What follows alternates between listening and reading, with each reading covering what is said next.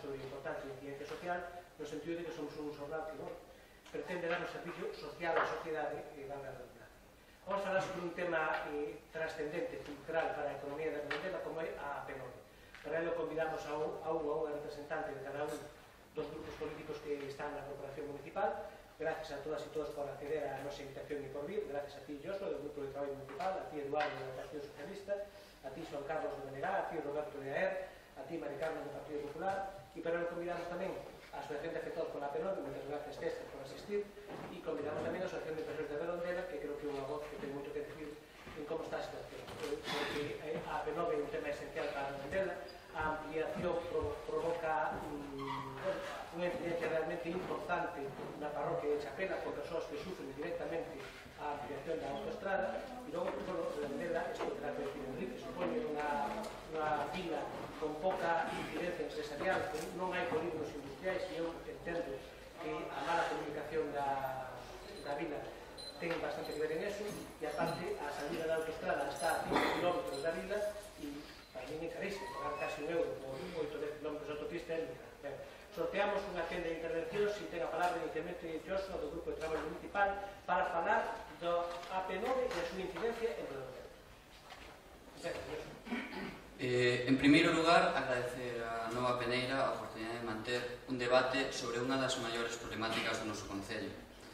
Cando estaba preparando a nosa postura sobre a AP9 e a súa incidencia en Redondela, no primeiro que pensei, igual que a ti, foi en Chapela, unha parroquia coa que as institu institucións teñen unha débeda histórica e manteñen nunha situación de abandono leva padecendo dende hai máis de 30 anos unha autopista inxusta, cuns prezos de peaxe que supoñen unha estafa e son un impedimento para o desenvolvemento social e económico, tanto de Galicia como do noso Concello.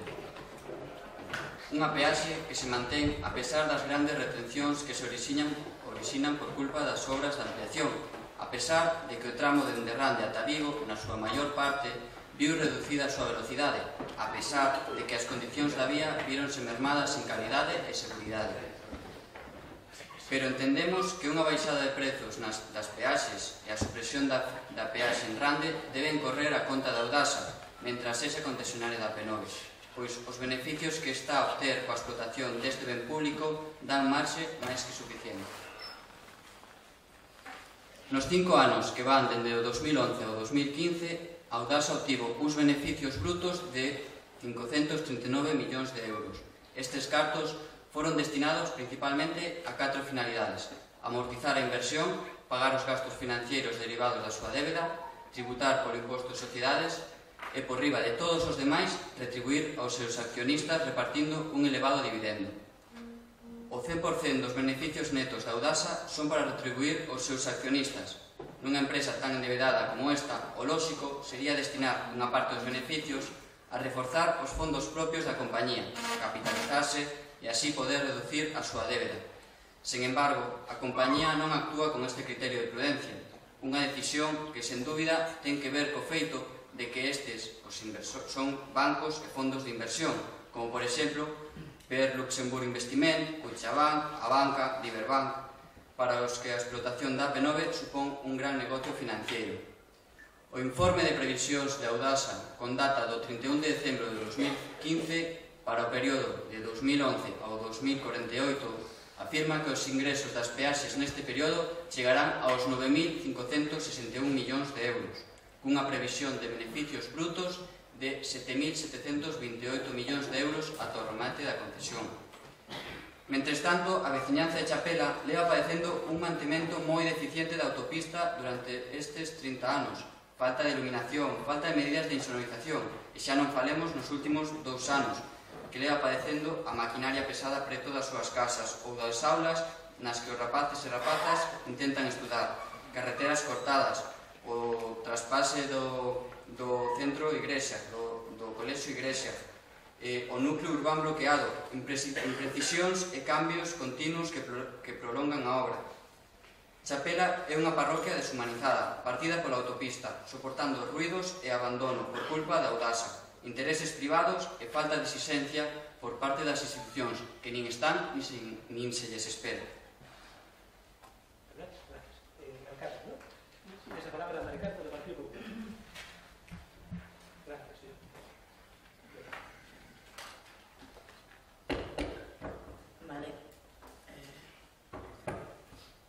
Eh, gracias eh, por Tino por facer este debate, polo traballo que supón ademais eh, todo o que é a organización do debate como tal e sobre todo o feito de tratar de difundilo para que hoxe estivese aquí bueno, pois, un numeroso público a realidade é que temos un día excepcional de redondela de muitísima calor e iso tamén fai que, bueno, pois, que estemos eh, bueno, pois menos dos que mellor eh, podemos estar, non?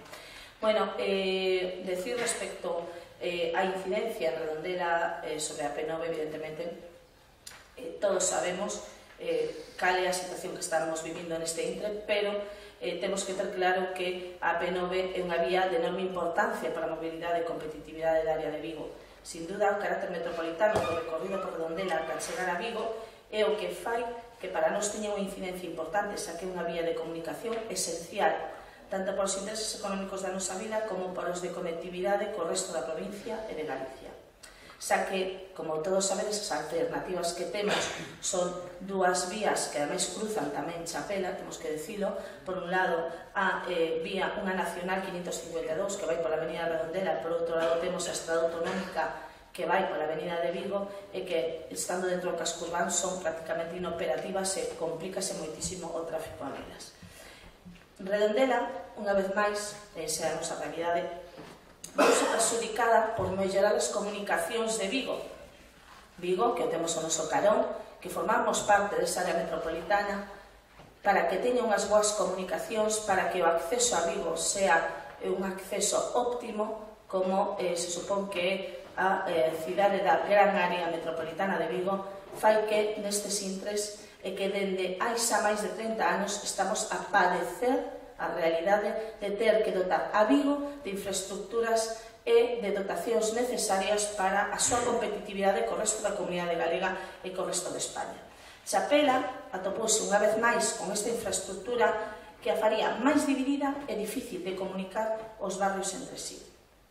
Dos 219 km que ten a AP9, Bueno, pois eh, o que é o recorrido de Redondela son entre 4 e 6 kilómetros, eh, dependendo de onde estemos. Que teñen unha repercusión negativa, esa realidade, en infraestructuras no noso paisaxe, dende Rande ata Chapela, ademais da repercusión por ruidos, afeccións, de detrimento do valor dos terreos e bens que se atopan o carón desta autoestrada. A problemática que para o desenrolo urbanístico de Chapela tivo, é máis que patente, latente, e todos o vemos no día a día.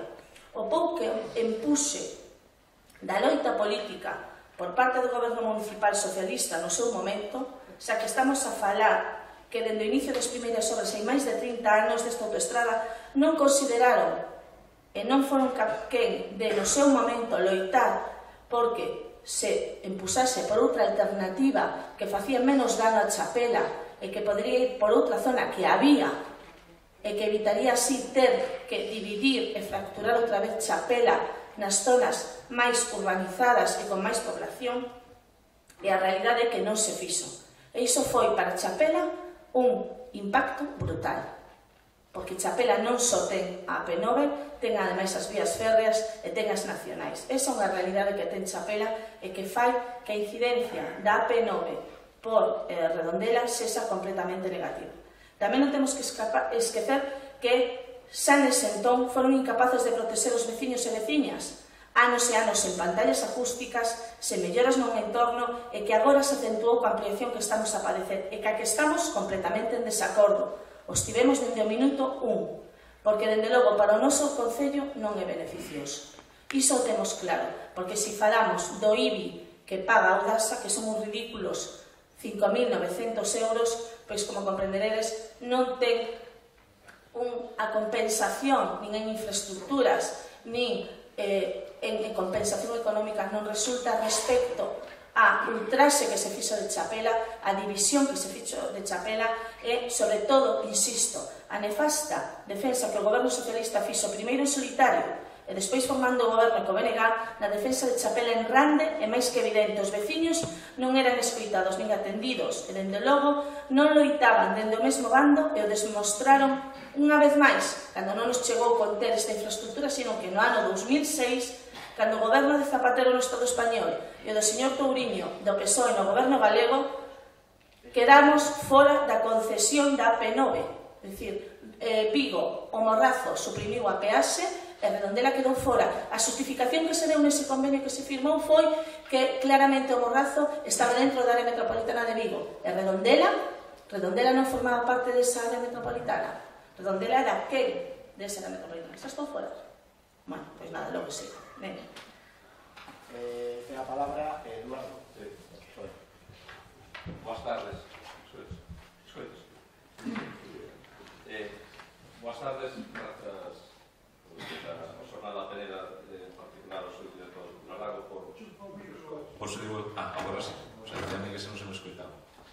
Bueno, en especial ao señor doutor Tirolago por convocarnos aquí e agradecer tamén pois esta convocatoria porque todas as veces que estuvemos debatindo sobre a P9, a construción e, e todo o que pone a P9, pois sempre debatíamos pois, os grupos políticos, non?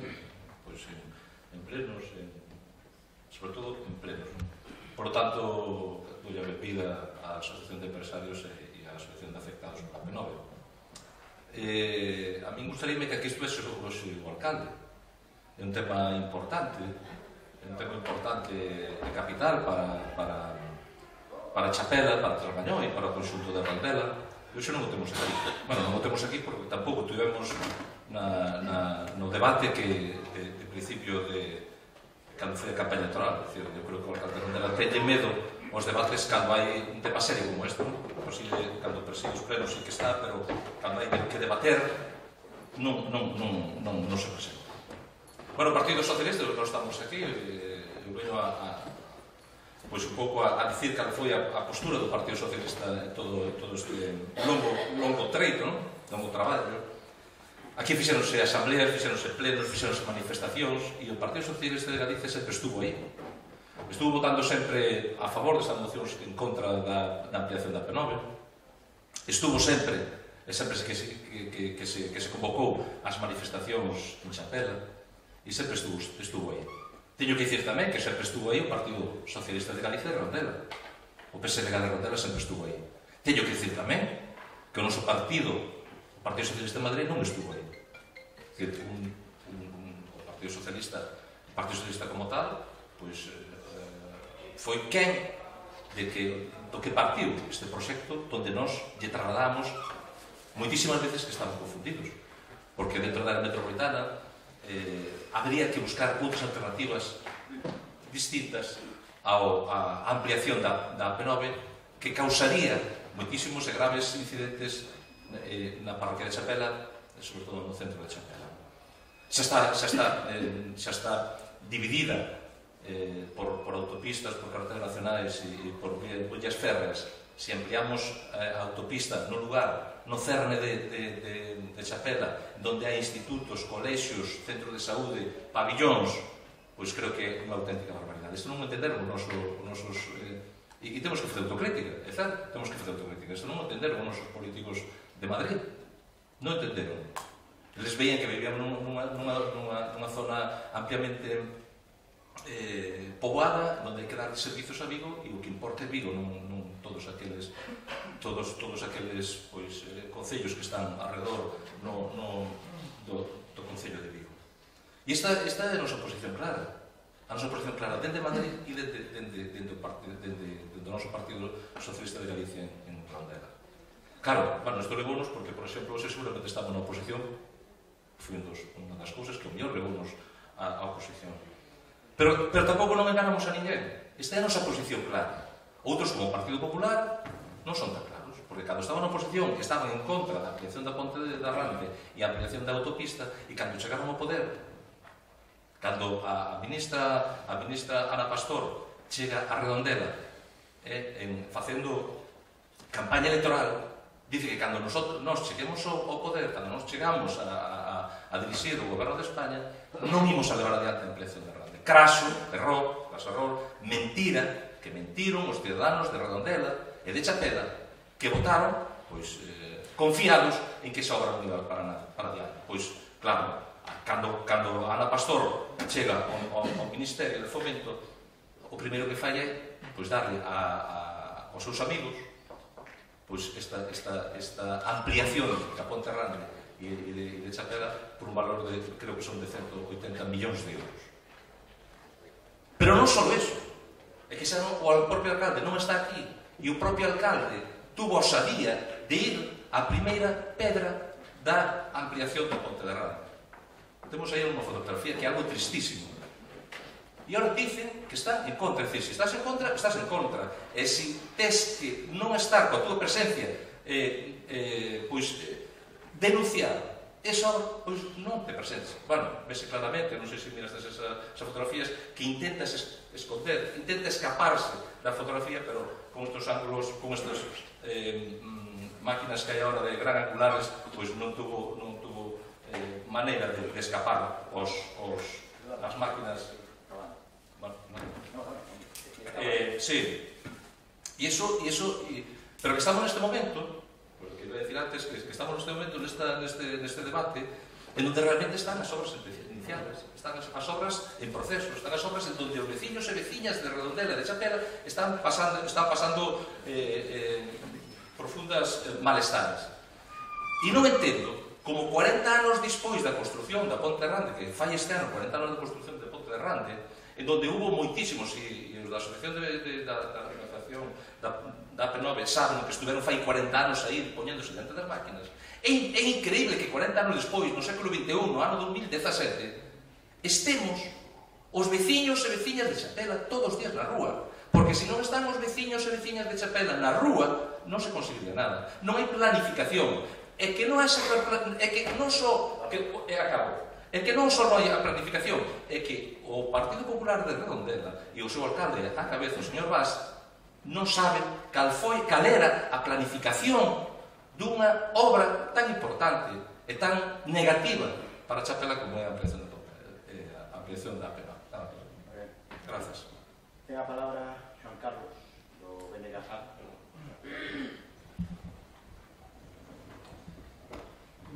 Ben, boa tarde. Agradecer, como non, a nova peneira que permita aos distintas forzas políticas e colectivos afectados expoñer os seus posicionamentos pois, en determinados temas e neste cuestión tan importante como é a ampliación da autoestrada pois, para Chapela, nomeadamente, pero tamén para, para Redondela, e eu tamén quería facer iniciar a intervención facendo referencia a esas imaxes, non? que hai imaxes que son importantes, como a ausencia do alcalde de Redondela aquí, como no anterior debate das eleccións municipais, e esa imaxe da fotografía do alcalde pois eh, asistindo a, eh, a primeira pedra de, de esta desta ampliación que todos estamos de acordo, polo menos o Bloque Nacionalista Galego ten claro que non vai a servir absolutamente para nada absolutamente para nada.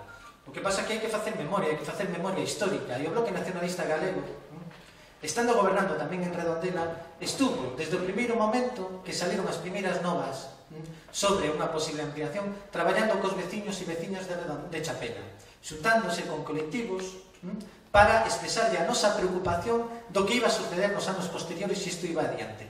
Eu non sei, non sei se o Partido Popular xa desde o ano 2006-2007 estuvo traballando co movimento asociativo eh, en Chapela para parar eso. E non só para parar eso, sino para transmitirlle aos seus deputados en Madrid pois que o impacto negativo da autoestrada da ampliación había que paralo. E todo foi, como sempre, de boquilla, porque aquí a, a vocera do Partido Popular, a representante do Partido Popular, primeiro, foi unha intervención dicindo, Foi unha intervención dicindo que eh, xustifica claramente a ampliación da autoestrada porque é unha vía de comunicación importante, porque hai que artellar o sur da provincia, porque eh, forma parte da área metropolitana, etc. etc. Para logo utilizar o discurso victimista que está utilizando sempre o Partido Popular, victimista de que a nosotros non nos hacen caso. E iso é utilizar utilizar o Concello de Redondela en función dos intereses partidistas. Vostedes utilizaron sempre o Concello de Redondela gobernando en función dos intereses partidistas. Porque responsabilizan un goberno municipal dunhas cousas, pero vostedes, como sempre, pretenden quedarse, salir de rositas. Mire, vostedes xa desde o ano 2006, 2007, 2008, 2009, nos orzamentos do Estado plantexaban emendas plantexaron emendas para que se estudiara a ampliación. E o Partido Popular de Redondela sabía e calaba. Non facían absolutamente nada. Deixaban correr. E despois, cando gobernaron no Estado, tanto con Aznar como agora con Rajoy, o único que fixeron foi que esa autoestrada eh, escapara do control público e todo, todo aquilo que podíamos de alguna maneira gestionar a través da presión pois eh, se difuminara Aznar prorrogou a, a concesión e Rajoy e Rajoy pois aprobou as obras, que xa foran tamén co Partido Socialista orzamentadas e publicadas no, no Boletín Oficial do Estado, que tamén ten a súa responsabilidade o Partido Socialista. Nos estuvemos e presentamos no seu momento o Bloque Nacionalista eh, Galego non de Redondela, sino do sur da provincia, presentamos unha alegación, sí, unha alegación, porque hubo períodos de alegación, vostedes terán que presentar as alegacións que presentaron no ano 2010, ¿m? Mm, dicindo que esa autoestrada, que esa ampliación non iba a servir absolutamente para nada, que había que buscar vías alternativas, que había que buscar un plan de mobilidade, un plan de mobilidade que tamén aproveitara o tren de cercanías e que for, apostara por reducir o movimento de tráfico particular para que o movimento de cidadáns en torno á cidade de Vigo fora máis fluido, máis fluido e tuvera menor impacto ambiental sobre o noso entorno. E unha cuestión moi importante, moi importante. A concellera do Partido Popular fixo referencia á eliminación da peaxe na Morraza. Cal foi o principal elemento que provocou a eliminación da peaxe no Morrazo? A movilización social. Movilización social. Que algúns dos que estamos aquí fomos alá. Si vostedes tuveran interese e moveran todo que, a toda a súa capacidade en redondela para eliminar a peaxe, a peaxe se eliminaba e estamos todavía hoxe pagando as peaxes máis altas de todo o Estado. Eh, ten a palabra ahora Enrique, da Asociación de Empresarios. Sí, no, será, será a primeira vez que nos invitáis e que podemos participar en un debate sobre o tema da autopista. Eh, yo, si me permitís, me expreso mejor en castellano, que mis compañeros en gallego, aí yo me pierdo un pouco y quiero llevar quiero tener las ideas un poquito más claras. Eh, nosotros no estamos aquí para hacer política, para eso ya están los grupos municipales, ya vemos cómo se tiran los tejos unos a otros. Nosotros creemos, como empresarios, que Redondela ha perdido la oportunidad, no en estos últimos dos años, no en estos últimos diez años, sino prácticamente cuando se hizo el trazado de la autopista, que dejó a Redondela al margen de las conexiones que podía tener y las mejoras que podía tener con ese avance. Desde ese momento y desde los años 70, Redondela ha ido quedando al margen de todo, por todas las administraciones, incluyendo la administración municipal en estos quienes han gobernado indistintamente en estos 40 años. Tenemos que recordar que desde el año 88, 1988, seguimos con unas normas subsidiarias en Chapela que lo que hacen es impedir el crecimiento y el desarrollo y la forma en que en este momento a lo mejor la autopista estaría centrada de otra manera. Entonces, la responsabilidad para nosotros es de todas las administraciones, incluyendo los que durante estos últimos 40 años, desde el gobierno municipal, no han sabido gestionar, preparar, quitar, dar a la calle, darle vida a los planes generales y a la estructuración de Redondela. Eso lo que nos ha llevado es a perder la iniciativa con otros ayuntamientos. Y lo tenemos claro, tenemos aquí al lado Mos, con un buen polígono industrial, con la cercanía al aeropuerto, la carretera al aeropuerto de Redondela arriba es la misma que tenemos desde hace 70 años. Tenemos Corriño, con polígonos industriales, tenemos Nigrán con la salida de la autovía de Nigrán, el nuevo polígono de Porto de Molle, y Redondela se ha quedado en tierra de nadie. Esa es la responsabilidad de los grupos municipales que lo hicieron y de la propia gente de Redondela, que durante 40 años y únicamente por temas muy puntuales, realmente no ha sabido, creemos, estar al frente de las necesidades de Redondela. En este momento, a nivel empresarial, Redondela tiene un mercado bastante exiguo, por no decir pobre. Y nos movemos fundamentalmente en lo que es la hostelería, los servicios y el comercio vario.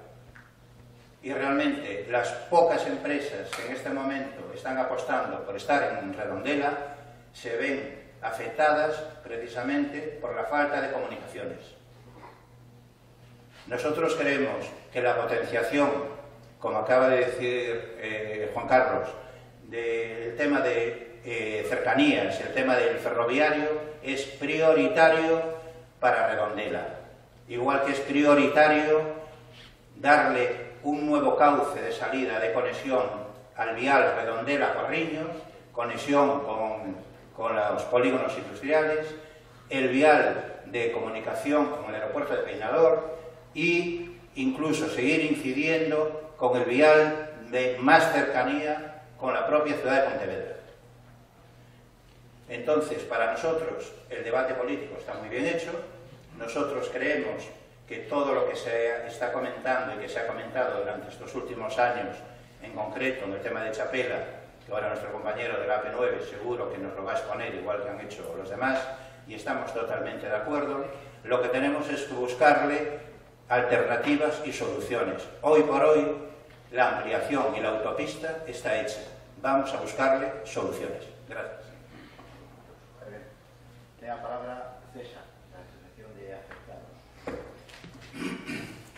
tardes a todos. En principio, en nombre da Asociación da Penove, damos as gracias por darnos esta oportunidade que por primeira vez, despois de 15 anos, sin contar os outros 30 que xa quedaron atrás, que parte da asociación esta estuvo loitando en aquel tempo tamén en contra da, da, desta obra faraónica que viu a, de alguma forma crecer Chapela, o que viu foi a destrozala non só destrozar Chapela porque había que facer unha autovía para comunicar Galicia, senón que era para prestarlle, en principio, o cambio que sufrimos de trazado, foi para prestarlle un servicio directo ao corte inglés no seu momento. O trazado, por si non o saben, o trazado da autopista de Chapela, pola zona de Chapela, era pola falda do monte, donde prácticamente era virgen toda aquela zona. Bueno, pois a raíz do, a raíz do corte inglés Isto se cambiou totalmente despois de expropiar unha serie de, de terrenos que quedaron expropiados e pagados xa para, para iniciar as obras, se trasladou a zona de abaixo, se cargou 25 viviendas que algunhas delas dos que estaban en Alemania e en Suiza non conseguiron nin estrenarlas siquiera, e de segunda volta nos carga 12 viviendas máis. Por lo tanto, este é un privilegio que lle temos que agradecer a todos os políticos que estuveron naquel momento como ministros, como foi Pepe Blanco e como foi a señora Ana Pastor, Pepe Blanco en Porriño en, unha, en un meeting que, que abordamos ali nos prometeu de que non iba ir adiante a obra de autopista. Bueno, pois, a sorpresa nosa foi que 24 horas antes deja firmado o documento. Pero logo ven detrás outra ministra e nos promete máis ou menos o mesmo, que non Se ela sale ministra, non vai ejecutar esas obras. Ela vai a facer o trazado que se está, parece que se está facendo ahora.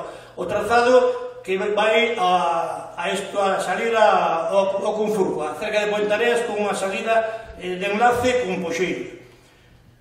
Pois todo isto se convertiu en non dicir a verdade.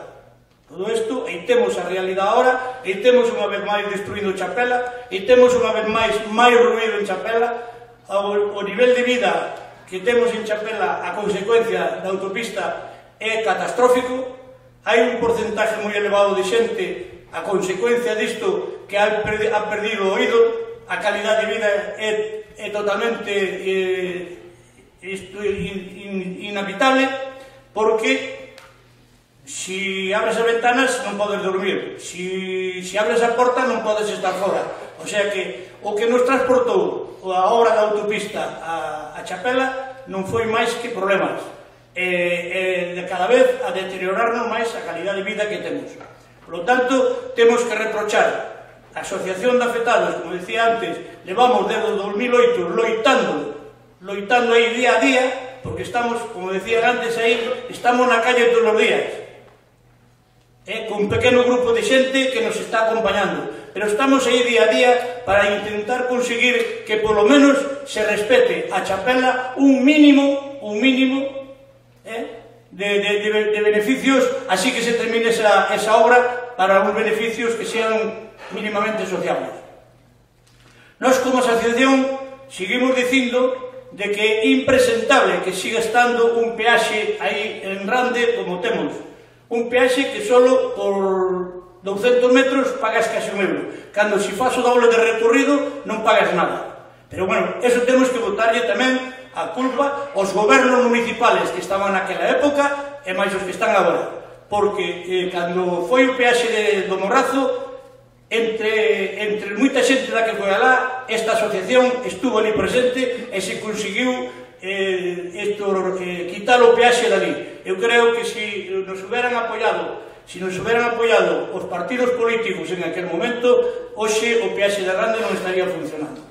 Por lo tanto, eh, desde aquí, unha vez máis, e nós, como non estamos encuadrados en ningún partido político que nós único que estamos representando ao pueblo e intentando mellorar ou que lle queden as melloras posibles ao pueblo despois desta obra faraónica, pois estaremos loitando e seguiremos loitando por ela hasta o final.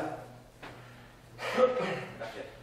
Eh, ten a palabra Roberto. Este o primeiro. A primeira que con esta, esta intervención, esta a primeira volta. Boas tardes. Eh, primeiro agradecer a Nova Pereira por dar esta oportunidade. Unha oportunidade que, por exemplo, eu personalmente levaba oito anos esperando este momento. Espero estar a altura das circunstancias e, e facelo ben, non? porque porque así, porque vivín moi de cheo e todo o mundo que me coñece oh, esta problemática da ampliación da penas. Eh, simplemente decir eh, que malos somos de Vigo, que nos traen de todo aquí, desfeitas e historias, pero sempre llevamos a mercar ali os seus centros comerciales e a manter aí a cidade. Non? Eso vai aí pola que toda a culpa é de Vigo. Non? Eh, o de ser o último, pois, ao final, contraía un discurso, pero claro, ser o último se lle rompe un pouco a historia, non? Aí falaban antes a xente empresario de que os partidos políticos nos tiramos os trastos e eh, todas estas cousas, pero que a realidade se se trata non? dun debate rico para explicar a historia, non? Pasando topo papel, mira, ao final non estou facendo tan ben. Eh, estamos...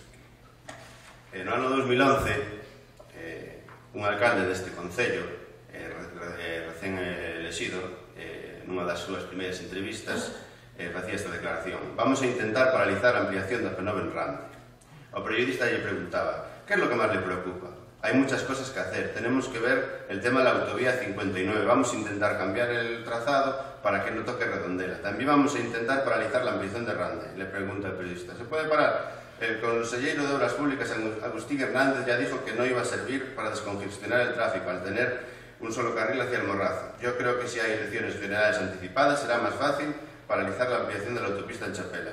El conselleiro Agustín Hernández eh, despois votou a favor da ampliación da Penona. Esta é a pura hipocresía que, que hai neste país. Non? Eh, neste caso vou me centrar máis porque se falaba do, da, da incidencia redondela, pero eu creo que hai que utilizar un sinónimo, que é a repercusión, xa que considero que máis aceitada esta palabra para definir os despropósitos causados por esta estrutura desde os seus inicios hai 40 anos, cun proxecto inicial executado eh, por un goberno franquista naquel momento, esa é a realidade da P9, por iso nos seus inicios se fixo como se fixo. Os ministros daquel entonces co cortaban a cinta da inauguración lucindo gravatas co logo da Audasa. Esa hai fotos, Os ministros daquel entonces levaban o lobo da audaza nas súas gravatas cando foron cortar a cinta. Pasaron os anos eh, pasaron anos e anos de ledicia e beneficios a mans cheas. Cando a villa dos cartos da P9 comenzou a pingar, inventaron a ampliación da ponte de Rande. Este foi un invento no ano 2004, non da hora. Eh? Este invento ven do ano 2004 da ampliación da P9, porque a audaza xa, xa miraba que lle faltaba, a, lle faltaba un pouquiño máis para esperrichar máis esta ampliación. Eh, Despois, unha ampliación licitada executada polo bipartidismo do PSOE e do PP para calmar a fame borá dos beneficios dos inversores da Audasa, porque todo isto ven por cartos, nada máis, os malditos cartos.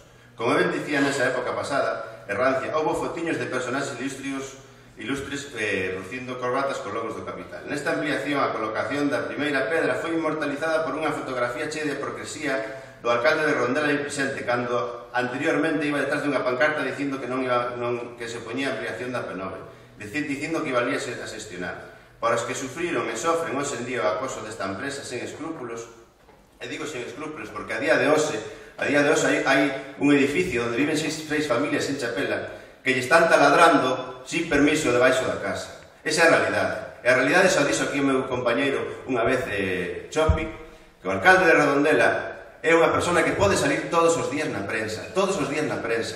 Cando lle estaban perforando esa casa aos veciños, automáticamente se tiña que presentar ali o alcalde e o señor eh, concellal de infraestructuras, que non sei por que non está aí diante, porque en teoría, se si é a, si é o, o, a persona máis preparada do Concello de Rondela, porque é concellal de infraestructuras, non sei por que non está aquí defendendo este, esta historia. Será porque os seus compañeiros non se fían dele. Termino agora. E por isto deixo todo moi presente. Es, es, esa é a realidade. Están perforando, como fixeron anteriormente en outras casas, hai un ano pico que chegaron ali cos seus picos e facían temblar as vivendas mentras a xente estaba vía ali dentro. Podemos definir varios tipos de repercusión. Repercusión social, repercusión sobre a educación e a infancia, repercusión económica e patrimonial, repercusión sobre a saúde e o medio ambiente, repercusión sobre a mobilidade do territorio, repercusión sobre os restos históricos da batalla de Rande, repercusión sobre o desenrolo urbanístico das zonas afectadas pola lei de estradas e repercusión electoral porque, digo, te remato ahora repercusión electoral porque en realidade aquí se viu a vender que non se ampliaba a autopista e se ampliou que sinceramente foi unha repercusión electoral. Nada máis, gracias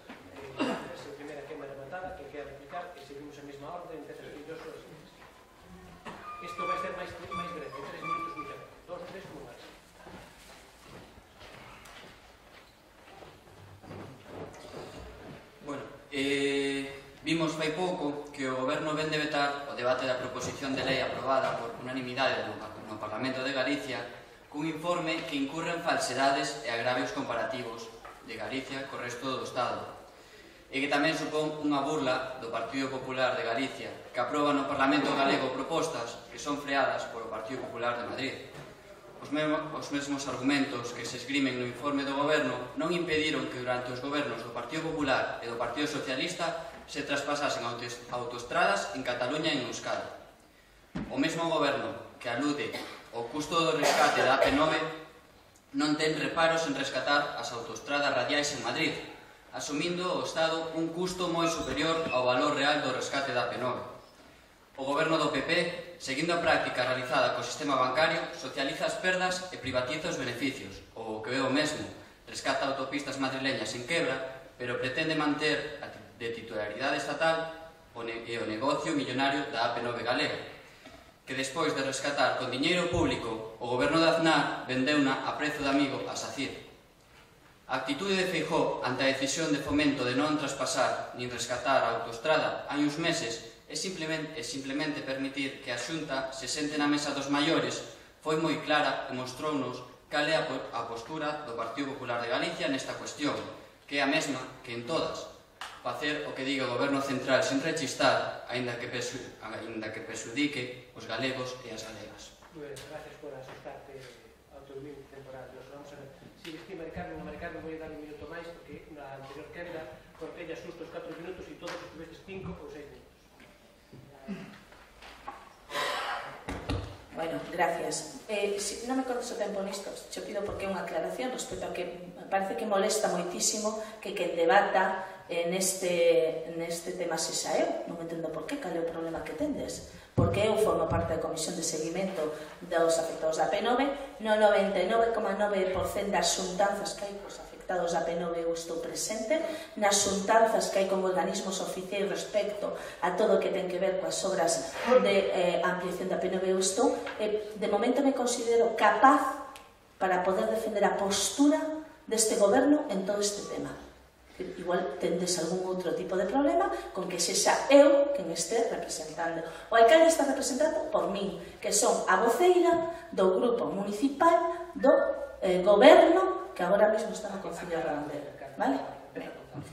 Bueno, imos, vamos a ver. Eh, eu non vou ir tan longe, non me vou a ir a Madrid nada máis que para decirlle ao señor González que vostede di que están na rúa, que vostedes defenden os intereses dos veciños, pero a mostra é que se quedaron vostedes cortos cando o goberno do señor Touriño, no que tamén estaba o BNG, non foi quen de facer que se considerara parte da área metropolitana justificada a supresión do peaxe de Rande. Soamente vostede foi a manifestarse ao Morrazo. Non entendo por que non foi quen de mobilizar as súas masas, as masas do PSOE, en Redondela para conseguir que se suprimise o peaxe en Redondela igual que se fixo no Morrazo. O que denota é que vostedes pois ou non teñen capacidade de mobilización ou, como fan sempre, cando gobernan fan unha cousa e cando están na oposición din outra. Esa é a realidade. A realidade ademais é que este peaxe do Morrazo estamos pagando todos, en torno a 12 millóns de euros anuais. Esa é a realidade. O pagamos todos. O 50% a xunta, o 50% o Estado.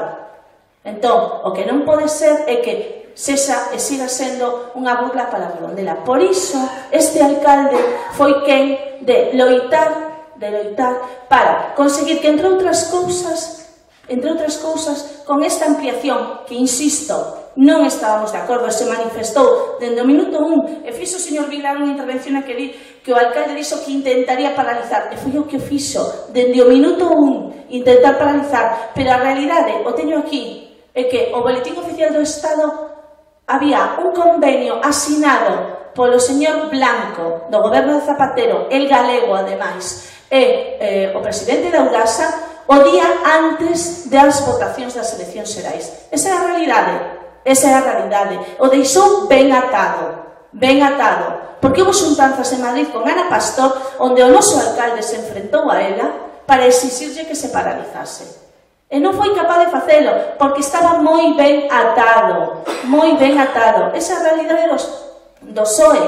A realidade do PSOE é esa, igual que a realidade do BNG que cando están gobernando se esquecen dos veciños e veciñas. E se esquecen dos veciños e veciñas porque a realidade é que a Asociación de Afectados da P9 non puido ter representación no Consello Parroquial de Chapela ata que chegou o goberno do Partido Popular. Esa é a realidade. A realidade é que vos non nos recibíades. É a realidade é que nós sí. E nos reunimos todas as veces que nos lo piden. E aquí hai moitos membros do goberno que cada vez que chaman estamos aí para o que precisan. A veces se pode conseguir, a veces non, pero estamos aí. E falan vostedes que estaban taladrando a casa de un das persoas afectadas. Esa persoa estaba con nós, señor Vilar. E mentras ele estaba con nós, o que fixemos foi chamar para que fosen ali a Policía Municipal e a Parelladora Municipal. Igual vostede non o sabe. Pero sí que se fan xestións. Entón, o que non se pode vir aquí é a tratar de espolvorear que o alcalde non lle importa. E o alcalde si lle importa e o demostrou cando obtivo 4 millóns 400.000 euros para construir un novo colexio en Igresia. Cando vostedes se conformaban coa expropiación dun pabellón que eran 3.000 euros a esquina onde se fai gimnasia. Esa é a realidade. E a realidade é que Todos eses nenos e nenas, moitos deles agora están moi maiores, tiveron que convivir con esas obras de autopista durante máis de 30 anos con esa autopista o carón do colexio. E tivo que chegar este alcalde, Javier Vaz, para obter a xestión que foi necesaria para poder chegar a iso sempre da man dos veciños e da Asociación de Afectados da P9. Esa é a realidade. E a realidade é que o dispendio respecto ás normas, a pues, cuestións urbanísticas en Chapela, moitas das causas veñen derivadas de que vostedes dende o ano 80 non fixeron absolutamente nada, e lle pediría ao señor Reguera que me dé datos de que si fixeron, para paralizar e cambiar o trazado desa obra. Ni no intentaron, a súa realidade é que ni no intentaron, esa é a verdade.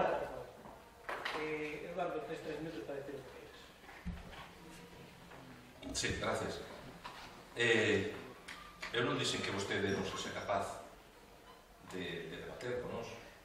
Claro que é capaz. O que é un incapaz é o alcalde. O que é un incapaz de debater é o alcalde, porque non estaría aquí. Porque aparte nos dous debates que hubo neste, eh, cos, cos, cos grupos políticos, o alcalde non está. E vostede non cree que non é algo importante como para que o alcalde este aquí e que vostede non este falando por ele e que este poñendo na súa boca que, no, que o señor va, o señor Mas, oito, que estuvera aquí, de primeira man, e que nos dera, pois, todas, todas, eh, eh, toda a información que deberá dar. E, bueno, e a capacidade de movilización do Partido Socialista do Bloque, oi, vostedes tamén tendrían capacidade de movilización. Seguramente non estaban de acordo en movilizar. Vostedes, seguramente, vostedes non estaban de acordo en movilizar. E que, e que bueno, pois pues, poderon facer o mellor para analizar a ampliación.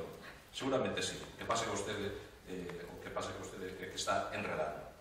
E digo eu, digo eu que eu acabei dicindo fai un momento en que 40 anos despois estamos na mesma situación, é dicir, como na época da dictadura, É increíble que un, que un, un país que debe estar, que, que queremos que é un país desenvolvido, que é un país desenvolvido, cheguen coas súas maquinarias, sin nada planificado, e que os veciños e veciñas de Chapela teñan que estar na rúa para que lle devolvan o que é deles ou para, pa, para, para, para buscar eh, pois para buscar aquilo que sea necesario e bom para chamar. É algo increíble. No século XXI que estemos así. É dicir, se non se manifestan por o de, por, o, por, o, por, a, por o de pasar, por o cambio de pasar, pois o mellor non estaría como está agora. Tuveron que estar aí. Tiveron que estar todos os días cruzando un paso de cebra, incluso con un, con un atropello. Teñen que estar aí todos os días. Teñense que poñer encima, teñen que poñerse diante das, das, das máquinas. É increíble. E, sobre todo, a falta de información. E con isto acabo. O Partido Socialista presentou dúas mocións. Unha, en xullo do 2014, en donde pedíamos unha comisión permanente, unha comisión de seguimento, unha comisión de seguimento das obras, porque non había comisión de seguimento. Non, non, non se ríe vostede. No ano 2015, no do, do 14 de xullo, presentamos unha moción porque non había comisión de seguimento. Démoslle, naquela acordamos entre todos os, os grupos políticos, porque eh, acordanse, eh, tomas acordos nos plenos que vostedes ao final non, non levan a cabo, que en 15 días había comisión de seguimento. Pois sabe como quedou a cousa? Que no 27 de febrero do, do, do 2015, é dicir, o seguinte ano, tuvemos que volver a presentar outra moción para que se creara que se creara xa definitivamente esa comisión de seguimento que vostedes non, non a crearon. Porque ustedes non queren dar información. Ustedes que están ao oscurantismo e queren dar información a contagotas daquela maneira... Eh, eh, vamos a ver.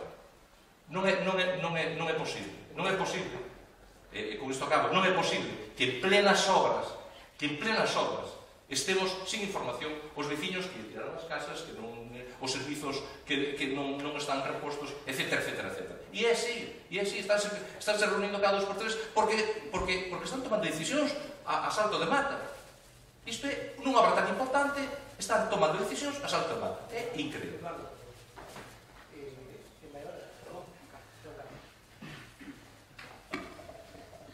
Bueno, a ver, eh, vamos a ver. A primeira cuestión ten a ver coa intervención que fai o representante do Grupo de Traballo Municipal, Joshua, que fai referencia efectivamente a, a proposición de lei que foi aprobada polo Parlamento Galego eh, para conseguir a transferencia da AP9 e eh, o Bloque Nacionalista Galego, que foi quen plantexou inicialmente esta iniciativa, a gratuidade da mesma, non? que pase que pasa a ser revertida por, polo goberno eh, o goberno galego, non? Pero claro, se dá un paradoxo nesta, nesta decisión, que é que xustamente a organización política que leva ao Parlamento Galego esta iniciativa é vetada por as outras tres forzas políticas parlamentares e non vai a poder estar no Congreso dos Diputados defendendo unha moción, unha proposición de lei que eh, eles presentaron. Para nós isto é unha situación pois novedosa no debate parlamentario porque o que di, o que di o, o regulamento, o que di a Eh, o eh, Parlamento é que ten que haber tres membros representando a proposición, non tres grupos políticos. E nós consideramos que o Bloque Nacionalista Galego, que leva anos movilizándose para conseguir a reversión das estradas da autoestrada AP9 a Galiza e a súa gratuidade, pois mm, neste momento é apartado por as outras tres forzas políticas. A voceira do Partido Popular pois non quer ir a Madrid, claro que non quer ir a Madrid, porque non lle interesa ir a Madrid, Ao Partido Popular non lle interesa ir a Madrid porque en Madrid lle marcan a folla de ruta que teñen que seguir vostedes aquí. Que é cansar os veciños. Crear comisións que hoxe os veciños teñen que seguir loitando fora desa, desa comisión para que se lle faga caso. Se a comisión funcionara de verdade e eh, se recolleran todas as súas reivindicacións, non tiñan que estar cortando a estrada todos os días e non tiña que convocar manifestacións e non tiña que haber manifestacións presionando o Partido Popular. O Partido Popular para que, para que o, o Colexio de Iglesia agora sí efectivamente se construyen os terreos de Ginaria mire, o tema da peaxe do Morazo o conselleiro que asinou a peaxe do Morazo foi Cuiña que era dos vosos, eh? bastante ademais bueno, e a movilización social a movilización social eh? que hubo? No Morrazo durante anos non foi abandeirada por ningún grupo político, ningún, ningún alcalde. Foi o movimento social organizado, organizado, eh, que aupou a consecución deste tema. Vostedes en Redondela non lles interesou, o Partido Popular non lles interesou. Para ir, para ir rematando, eh, vamos a ver, eh, a movilización do Partido Popular nestes anos foi negativa. Foi en contra dos intereses dos veciños e veciñas de Chapela. A información que se está, ya, eh, se, se está dando na actualidade pois non está servindo para nada, prácticamente para nada, porque non están acadando os objetivos plantexados inicialmente. Hai todavía veciños que están esperando a que lles propien as súas casas que pasa polo teito a novo, o novo carril, ou non. Que fixeron vostedes? A peaxe, a peaxe que aparte eh, é unha espada de Damocles para o desenvolvemento de Redondela, pois, sí, eh, solo un segundo. A peaxe está servindo para hinchar os bolsillos de Audasa, non para beneficiar aos galegos e galega, que temos que pagar entre 70 e 75 euros cada un, cada galego e galega, para recuperar a peaxe madrileñas. As madrileñas.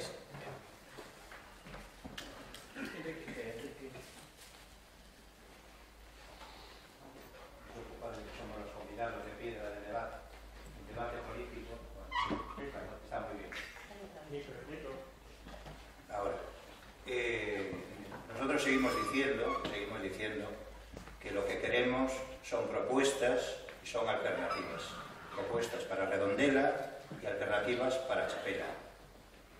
Y las alternativas pasan por una mejora en este momento de las comunicaciones de Chapela, de las dos viales de Chapela, de la vía del tren con mejor uso en Chapela, con el apeadero que está allí, se encuentra allí, y con las comunicaciones.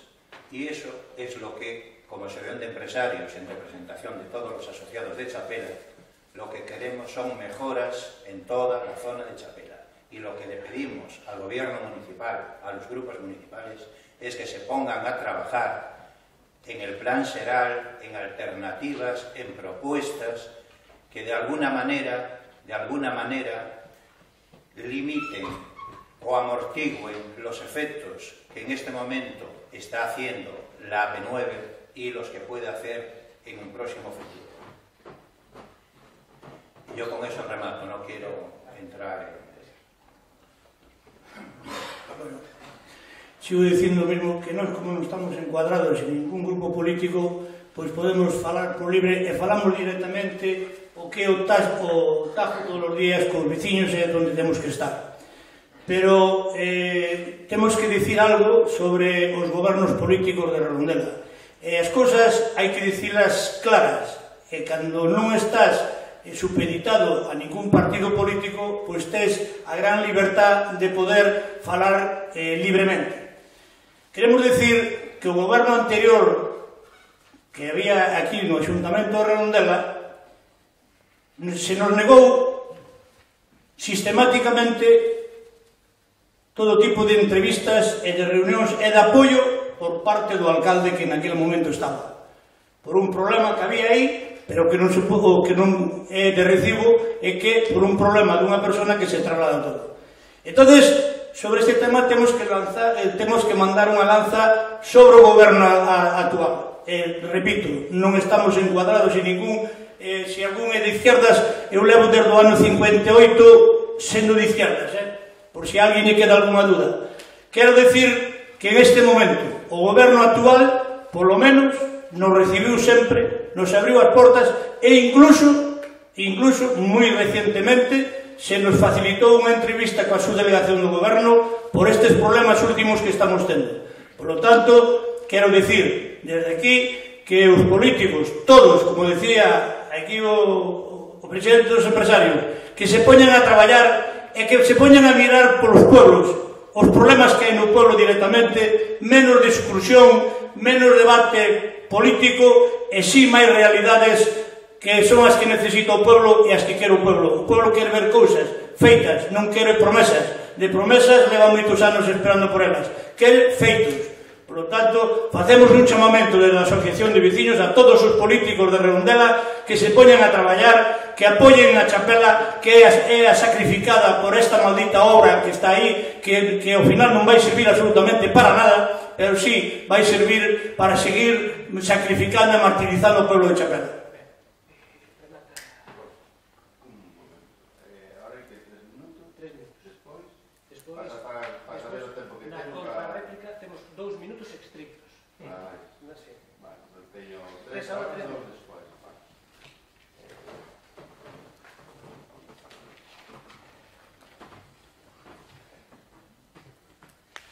Eh, solo apuntarlle a, a, a señora Moedo que o, o proxecto Castor está paralizado.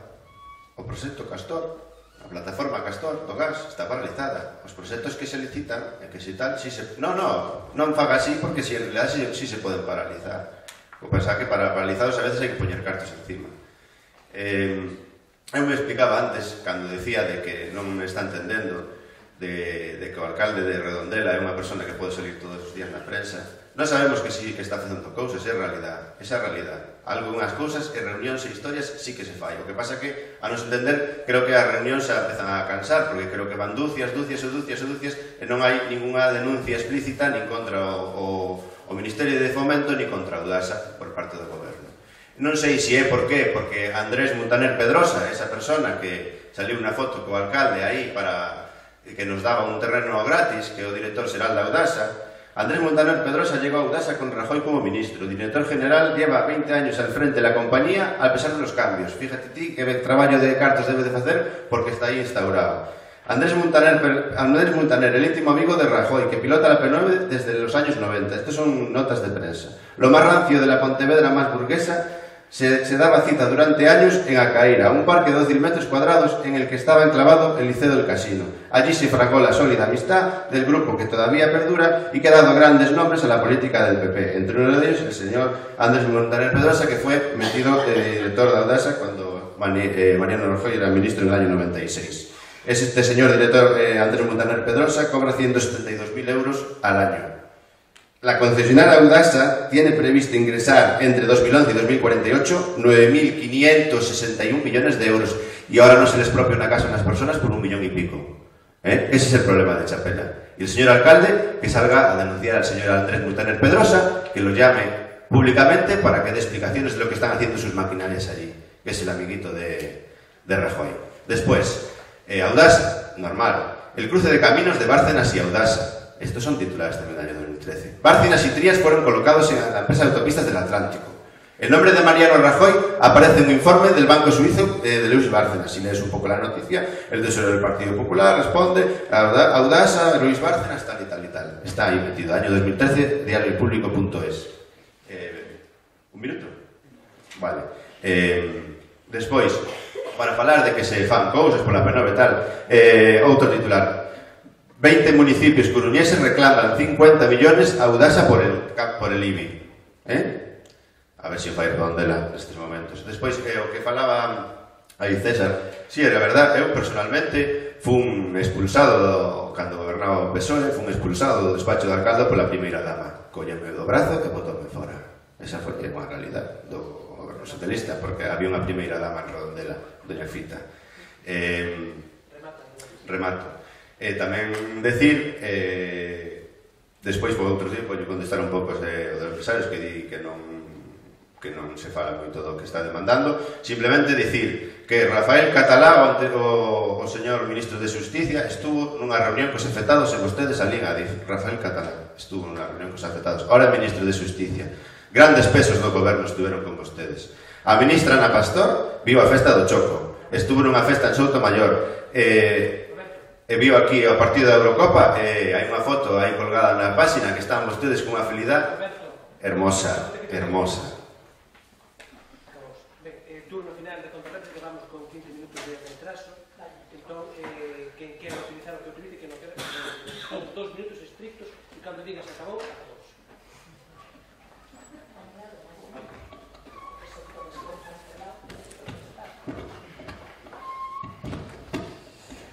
Simplemente empezar a engadir que xa sabemos todos que a relación entre a AP9 e o Partido Popular sempre foi moi estreita, igual eh, moi, moi ben dicía Roberto.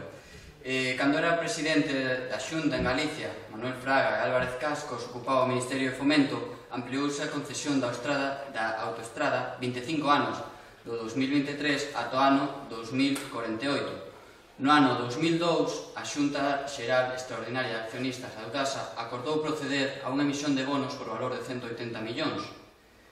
E sendo designado como eh, comisario de carácter provisional don Luis Bárcenas Gutiérrez, cargo que ocupou ata o ano 2006. Neses anos foi cando Bárcenas multiplicou en 3,5 o seu patrimonio e por 4 as súas rendas, Outro dos políticos do PP que tomaron partida como conselleiro foi Jorge Trías Sagnier, abogado e exdiputado do Partido Popular no Congreso dos Deputados, ademais de amigo íntimo de Luis Bárcenas. Resaltar que, tempo, que pouco tempo despois foi cando Luis Bárcenas abriu as súas contas en Suiza.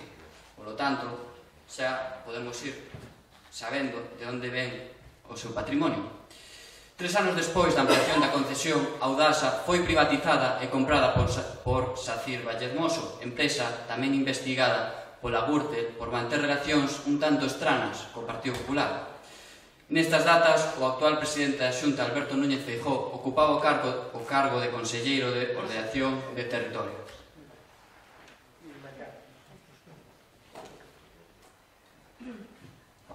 Bueno, por realizar dúas cousas rápidas. A primeira, o alcalde, esta é a diferencia entre un alcalde, como ten que ser, que defende os intereses dos veciños e das veciñas, e un alcalde como eh, era Saime Rey e o seu grupo de goberno, porque vostede tamén formaba parte.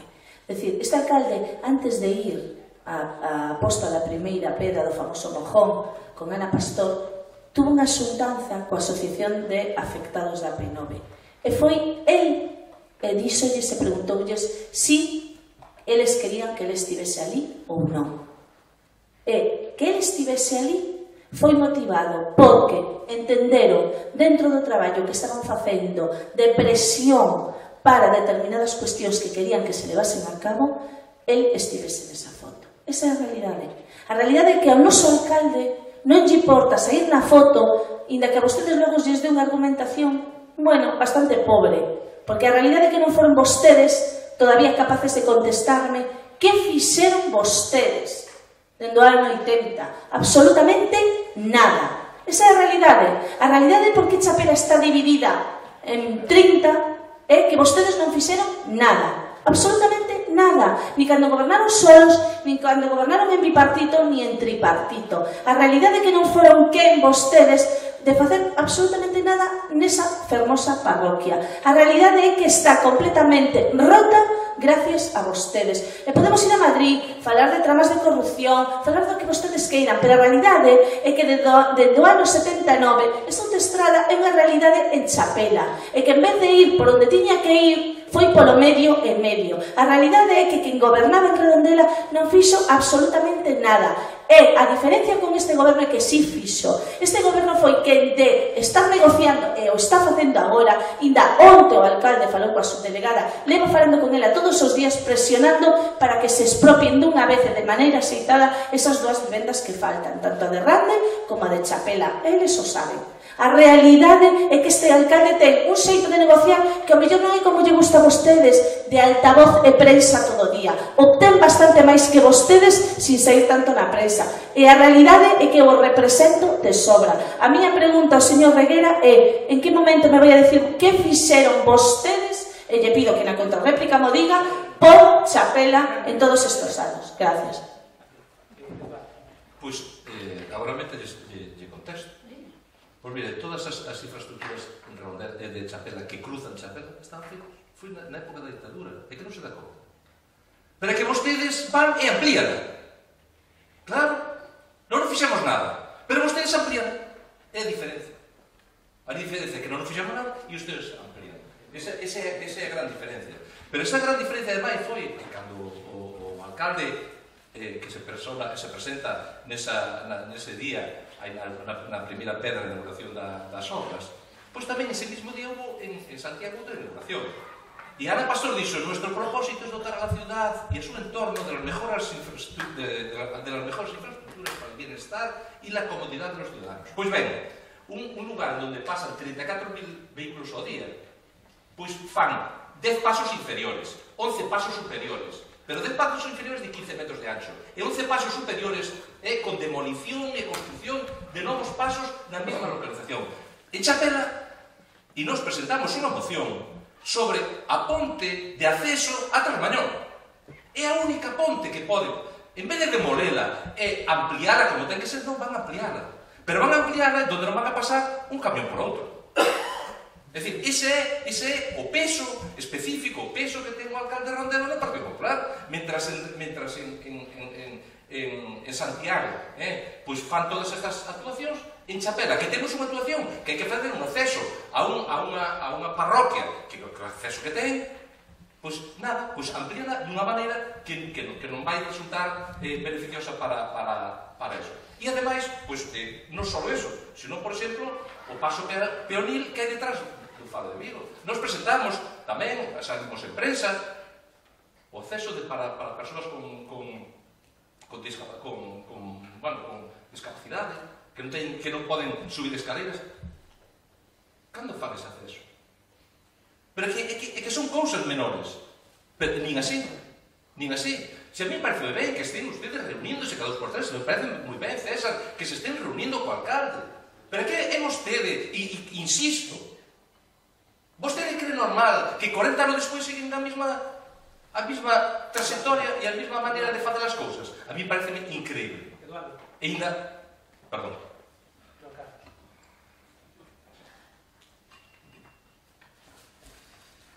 Eh, bueno, despois de todo isto exposto que os, as forzas políticas vimos aquí a, a contar, hai unha realidade que é clarísima, que o deterioro da calidade de vida dos veciños e veciñas de Chapela por unha obra que se executa baixo o goberno do Partido Popular en Madrid e en Compostela. Porque aquí a voceira do Partido Popular falou de que o goberno galego durante o bipartito. Que fixo o goberno de Feijó durante estes oito anos? Que fixo? A procesión de caladiños, que para iso lle paga. Non, non fan outra cousa. Procesión de caladiños. Na proposición de lei que foi aprobada outro día por unanimidade polo Parlamento, polo Parlamento o vocero do Partido Popular dixo que a ver se si convencemos os de Madrid. O conto está feito. Non engañen máis ao personal. O conto está feito. Vostedes a estrategia que utilizan en Redondela, en Compostela e Madrid é marear a xente. Toleada. Toleada. Porque se si vostede dice que están chamando todos os días a non sei onde, é mellor que aforren os cartos do teléfono, é mellor que aforren os cartos do teléfono, porque non están conseguindo absolutamente nada, salvo que a xente sai á rúa. O tema do, do colexo de igrexa é paradigmático. En canto se convoca unha movilización, a semana seguinte ven as dos conselleiros e eh, se tramita todo o procedimento e propostas o Bloque Nacionalista Galego ten presentado propostas. Propostas para eliminar a peaxe, para humanizar a Estrada Nacional 552, para que se manteña uh, eh, correos, para que expropien as vivendas eh, que todavía non as, eh, expropiaron. Levouse eso ao Parlamento Galego para que o Parlamento Galego teña unha voz decisiva neste tema que fixo o Partido Popular. Votou en contra. Votou en contra. E era algo simbólico, porque a competencia non é do Parlamento Galego ni do Goberno. Pero vostedes votaron en contra de todas estas melloras para Chapela. E é máis, a única infraestructura que poden aproveitar que era a estación de Renfe, pasan os tres por Chapela e miran pa eles, non paran por culpa súa, por culpa do Partido Popular.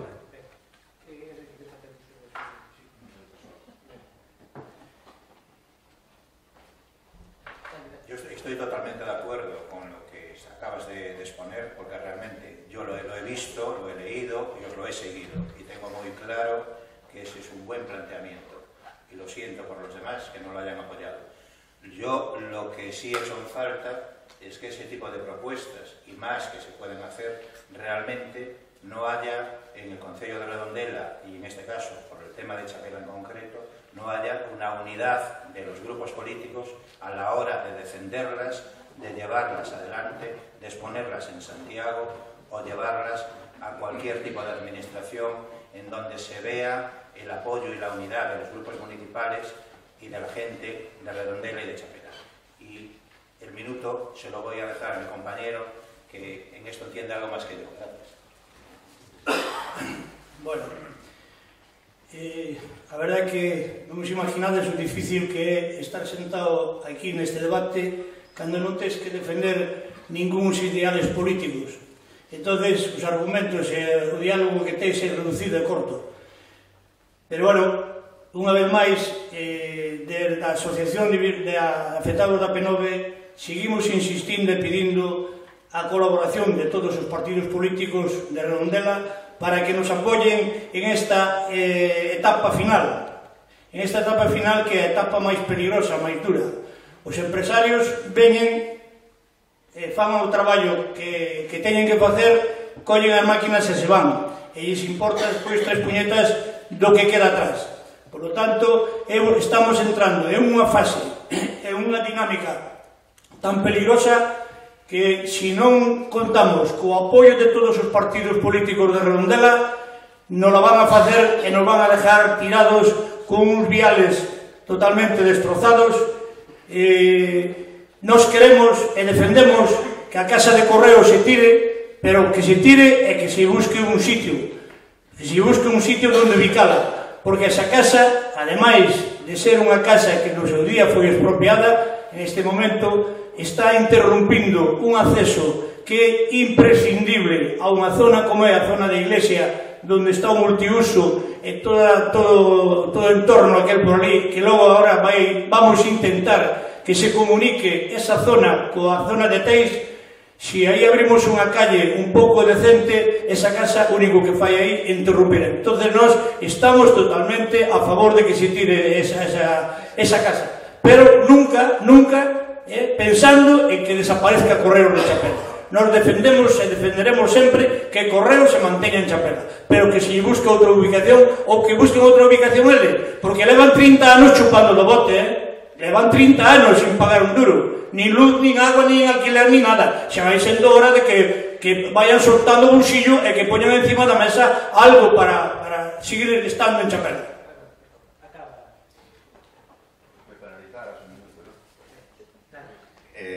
a ver, vou a contestarlle un pouco a asociación de empresarios. Eh, preguntaba polo plan xeral, o plan xeral si se vai a ver eh, retrasado pola ampliación da autostrada, pero non, aunque entendo que despois eh, o goberno diga que non, pero si vai a, a ser retrasado pola ampliación, polas afeccións e por estas cousas. Eh, nós dende AER sempre dixemos que as compensacións da P9 para nós non é nin o traslado do colexio porque nós entendemos que ese traslado é eh, unha compensación de 30 anos, non desta ampliación Tampouco para nós é a, a famosa reposición de servicios esta de, de a, a decentar as rúas e as aceras, tampouco a, a consideramos como compensación, sino, inda que este máis alado do proxecto, non, non a consideramos como, como compensación. Nos como compensación, por exemplo, para se fala moito do peaxe, nos decimos que o goberno ten que forzar e a Audasa, a Audasa debía de, de, de ser un pouco eh, caritativa, con, por decirlo así, con Redondela e tiña que abandonar ese peaxe, ou sea, abandonalo, abandonalo, ou sea, abandonalo. Nin, nin peaxes na sombra, nin nada, por coherencia e polos castigos que nos deron que abandone. E a empresa non lle vai a pasar absolutamente nada. Despois, eh, a Ponte Nova de Trasmañó si é unha demanda, aínda que hubo mocións do Partido Socialista, tamén estamos de acordo en que se, en que se tire e que se faga unha nova, porque esa parroquia vai quedar eh, e un acceso deficitario para os próximos 50 anos porque non supoño que non se irá facer outra historia máis eh, na P9 non?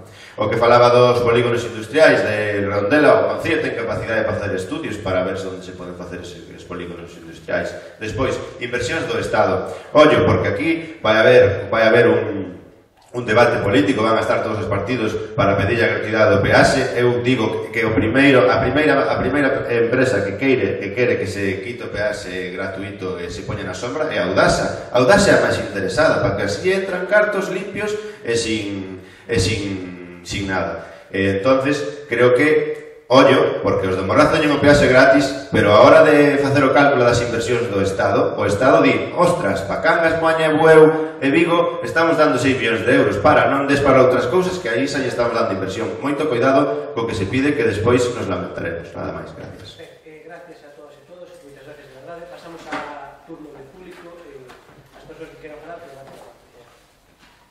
Como te chamas? Manxi. Guillermo. Guillermo. Pase segundo. Segundo. Anso, Jessica, Guillermo, segundo. Algún máis? Solo, solo haber un turno de palabra. Eh? Eh, Cándido.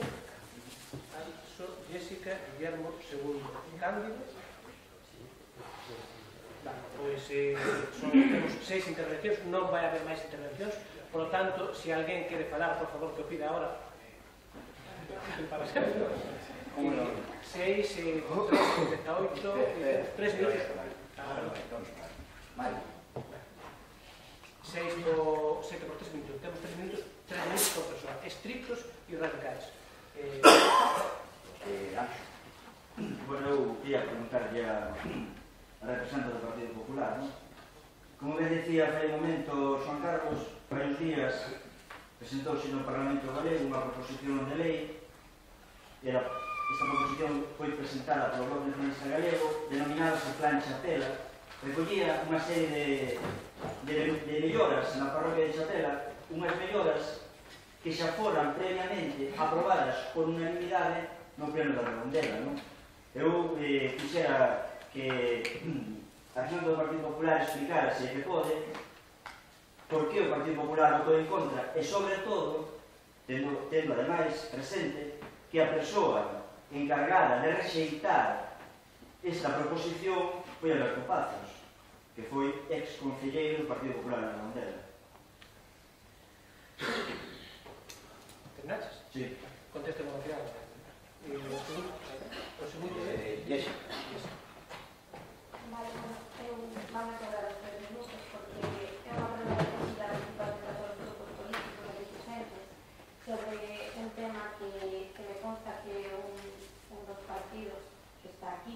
leva bastante tempo dando, dando batalla nas rúas, que é algo que se comenzou moito aquí, pero bueno, creo que algúns nos faltan vernos moitos máis nas rúas. Entón, eh, un pouco tema ben encaminado sobre que opinades sobre a transferencia da, da AP9 para que nos poidamos decidir sobre, bueno, sobre as nosas propias autostradas e principalmente tamén gustaría dirigirme ao PSOE e, eh, e eh, bueno, mm, ao compañero de, de Podemos está representado en Marea, tanto no Parlamento Galego como no, no Estado Español, e verdade non tedes moita voz de voto en España, pero. Entón, sí que me gustaría que, que nos comentades por que non estades deixando que un destes grupos políticos, que o Bloque neste caso, non presente a lei, bueno, a, a súa proposta eh, e sobre todo lei. Gracias. Eh, Guillermo. Sí, bueno, A mí pátame disculpar, pero si, pude, si, si o que poner un titular o acabo de escoitar, decía despois de todo, todo sigue igual. Despois de todo dicho, todo sigue igual. Vamos a ver, o orixen deste problema é o entender como progreso que moitas vías, moitas autostradas, moito tren de alta velocidade, porque iso todo se considera progreso. Un progreso que nos trae a ruína. A ruína para a inmensa maioría de millóns de persoas. Pero iso non se ve, ni en esto siquiera se destaca. E o primeiro que había que combatir esta, esta filosofía de vida, que é a que nos traiciona e nos leva a esta situación de unha maneira ou outra. Defendendo de unha maneira efectiva o transporte colectivo frente ao transporte particular o transporte público frente ao transporte particular. E iso entende, se de cercanías fundamentalmente. E non deixo, non deixo esa forza e ese interés decidido por promover isto e plantear esta cuestión. E, como se considera progreso, toma progreso. O tren de alta velocidade, que tanto entusiasmo nos crea, apenas crea servicio social propiamente ningún para os traballadores, para os de cada día, e si que facilita a comunicación moi fácil e cómoda a, a, a, a xente de nivel executivo, non? Esos son os importantes.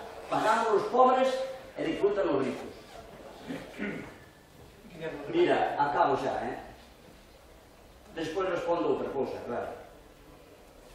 Darlle ganancia aos grandes grupos económicos, el señor Florentino, o señores Eliardi e compañía. E todo responde a isto, e a pouco que rasquemos nas condicións de fondo e nas causas profundas, non son máis que estas. E o resto son adornos. E nos fan creer que nos van a salvar a vida cando nos la foten. Punto. Gracias. Eh, segundo, segundo. Cando eu, en principio, alguna cosas vivas que tiña previsto falar, se as pisaron por aí, parte de todo un trabajo de manera. O que pasa que hai algo que me sorprende, e é que, que escoito aí por parte de algún dos oradores, e dice que, que, non, é, que non atenderon as peticións deles os compañeros, os compañeros de partido en Madrid. Compañeiros, pero cando vos dades conta que os de Madrid lles importan un pepino que opinemos os galegos? Os galegos que están aquí en Galicia, cando che, os, que, os que se din galegos, que dicen, soy máis gallego, soy gallego en el alma, cando chegan a Madrid, son madrileños. E se olvidan lo que pasa en Galicia, lo que pensamos en Galicia e lo que sentimos en Galicia. Pero non sei cando nos vades dar conta desto. Se toda a gente maior para daros conta de que pasa olímpicamente lo que pensamos en Galicia. Eu, por lo menos, o teño perfectamente claro. Mira, non é a compañera do PP de que non falemos da corrupción. Eu vou facer caso. Non vou falar da corrupción. Pero non falar da corrupción, non veñas que non teño ganas de falar da corrupción. Porque vou facer caso, porque vou ser un pouco obediente, o mellor está fora de contexto. Eh? E non vou falar da corrupción. Para ten que falar da corrupción. E tiñades moito para ir vos da corrupción. O compañeiro de que representa os patróns, perdón, os, os, os comerciantes ou os empresarios chamamos de patrón. non digo, non é tan peyorativo. Redondela, pequeños empresarios, Perfecto. comerciantes, autónomos, Perfecto. Para profesiones vos, liberales, como quieras. Para vos teño unha cousa, que dices e como vos criterio de que vas en ser falta a, a pouca comunicación que ten Redondela.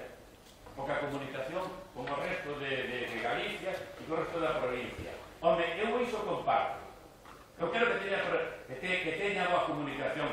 Pero, oye, non a falta precio. Comunicación xa non la están poñendo e xa que estamos moi cabreados porque le están poñendo como si nos están puteando. E non podemos decir, oye, non hablemos de cuestiones políticas. Claro que temos que hablar de cuestiones políticas. Evidentemente que debemos falar que ese é o noso futuro. Perdonad si le paso el tiempo para allá, porque quisiera decir, lo leo dentro. Y, perdonad, y, eso, y eso y eso. Yo digo a Peneira, Nova Peneira. De verdad, compañero da Nova Peneira, estou enormemente contento de que por fin volvamos a ter sitios para debatir o que pensamos e gracias a vos se está conseguindo fundamental ti, compañero Tino, que diriges con moi bo criterio tanto este como a Nova Peneira. O digo, o digo porque efectivamente é un feito Porque por aí non hai onde te a. Prometo que non lle pague nada. Que non me pague, se eu te pagando unha por favor, pastoral. Cambio. Con o último vecino de Chapela, quero dicir que xa teño escoitado os grupos políticos falar na mesma medida que fala hoxe e sempre pasou o mesmo. Nunca se solucionou nada. Parece que os de Chapela temos unha data maldita da época franquista, que xa cando fixeron a autopista, eu me lembro de subir o campanario, tocar as campás, a memoria en terra, sin responder o vecinos para nada, as expropiacións ni nada, e resulta que agora está pasando o mesmo. Sea PSOE, sea PP, eh, porque, ou digo PSOE PP porque son os estuveron máis responsabilidades do goberno. Parece que os dous queren facer as cousas moi ben, pero resulta que con esta pela sempre estamos pagando as consecuencias do señor alcalde de Vigo, que ahora mismo é o caballero, que por certo se podía solucionar se hai un alcalde en Vigo do PSOE e redondelo do PP, sería máis fácil entender, senón, sobre todo para a supresión da peaxa. Eu creo que algo máis impresión, porque sempre decimos que non era a súa competencia, non é competencia de, de fomento, é competencia aquí, pero os vecinos están tocados do caralho. Esa é a cuestión.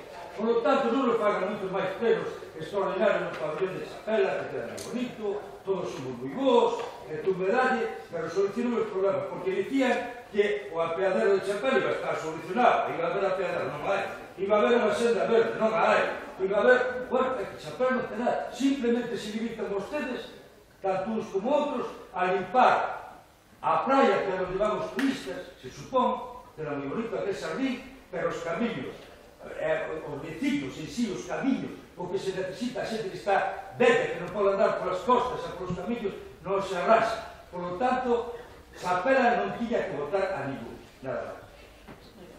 Eh, Mari.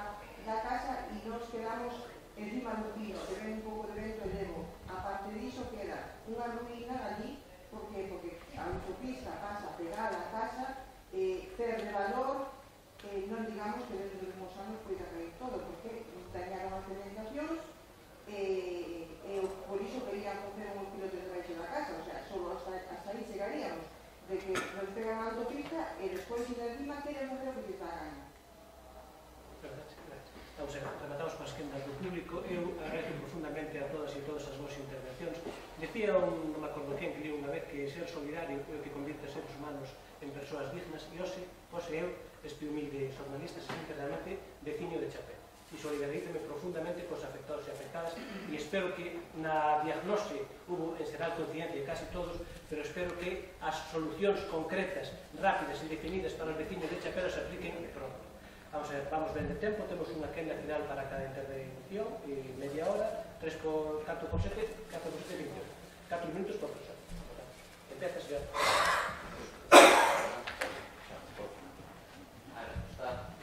sí, sí, sí, sí.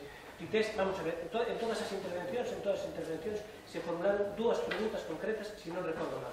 Unha pregunta para ti, eh, referente a cal é a posición do grupo político no que estás ti inserido sobre a transferencia da P9, e unha pregunta en concreto para Mari Carmen, eh, algo referente ao plan Chapela, eh, que me corrixa a persona que a formulou, eh, e non sei se alguén quis con alguén do PSOE, alguna referencia se quiso...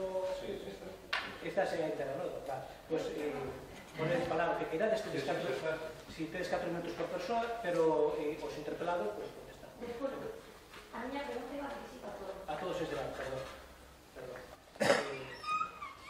Bueno, eh, o, da, o da negativa do grupo de Marea, do descoñezo, que o meu traballo centrase exclusivamente no municipal, como ben se sabe, Podemos non se presentou as municipais, eh, Aquí en Redondela non existe nin Podemos nin en Marea, un grupo de veciños decidimos juntarnos e organizar unha, candidata, unha candidatura para presentarnos ao Concello, polo tanto, non podo darche resposta a iso. E, en torno á transferencia da P9, pois estamos de acordo a que se transfira a, a Galicia, xa que é unha, é unha autostrada que transcurre exclusivamente por territorio galego e como xa comentei na miña intervención, eh, eh, casos moi parecidos xa ocorreron en Euskadi e Cataluña eh, foron transferidos a seus territorios.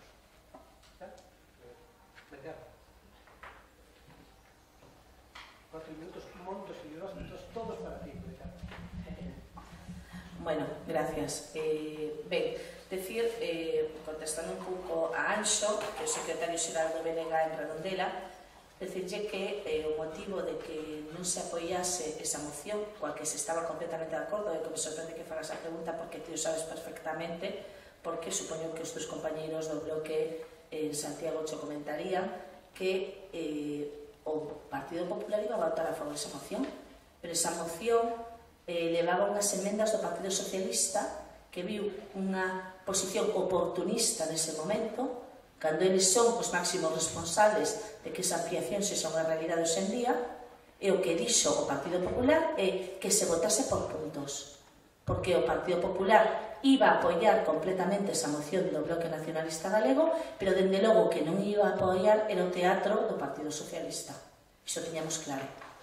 Entón, esa é a realidade. E a realidade é que o Partido Popular xa presentou outra moción no, no o Grupo Parlamentario presentou outra proposición non de lei para o seu debate na comisión na que van moitos deses puntos dos que ti falas, porque como ti ben dixeches, xa foran aprobado, aprobados por maioría por to, a totalidade, por a unanimidade dos grupos políticos que conforman a Corporación do Concello de Redondela.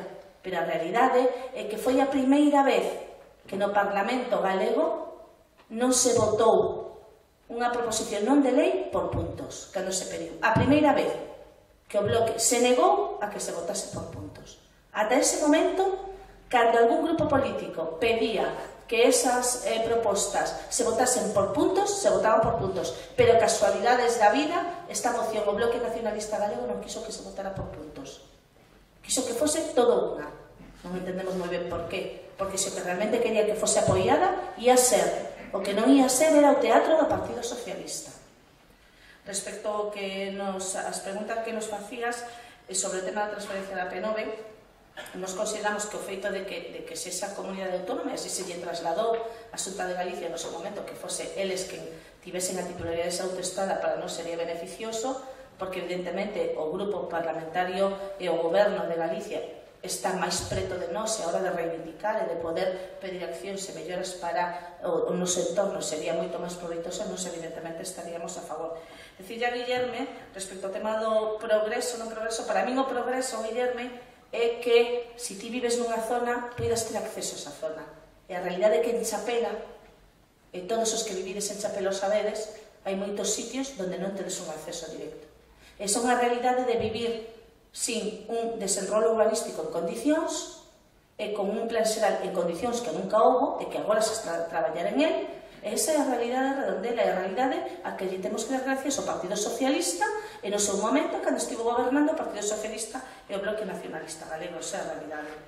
Respecto a segundo, comunicación, sí ou non, para mí a comunicación é fundamental e sobre todo é fundamental que cada un poida decir o que pensa en cada momento.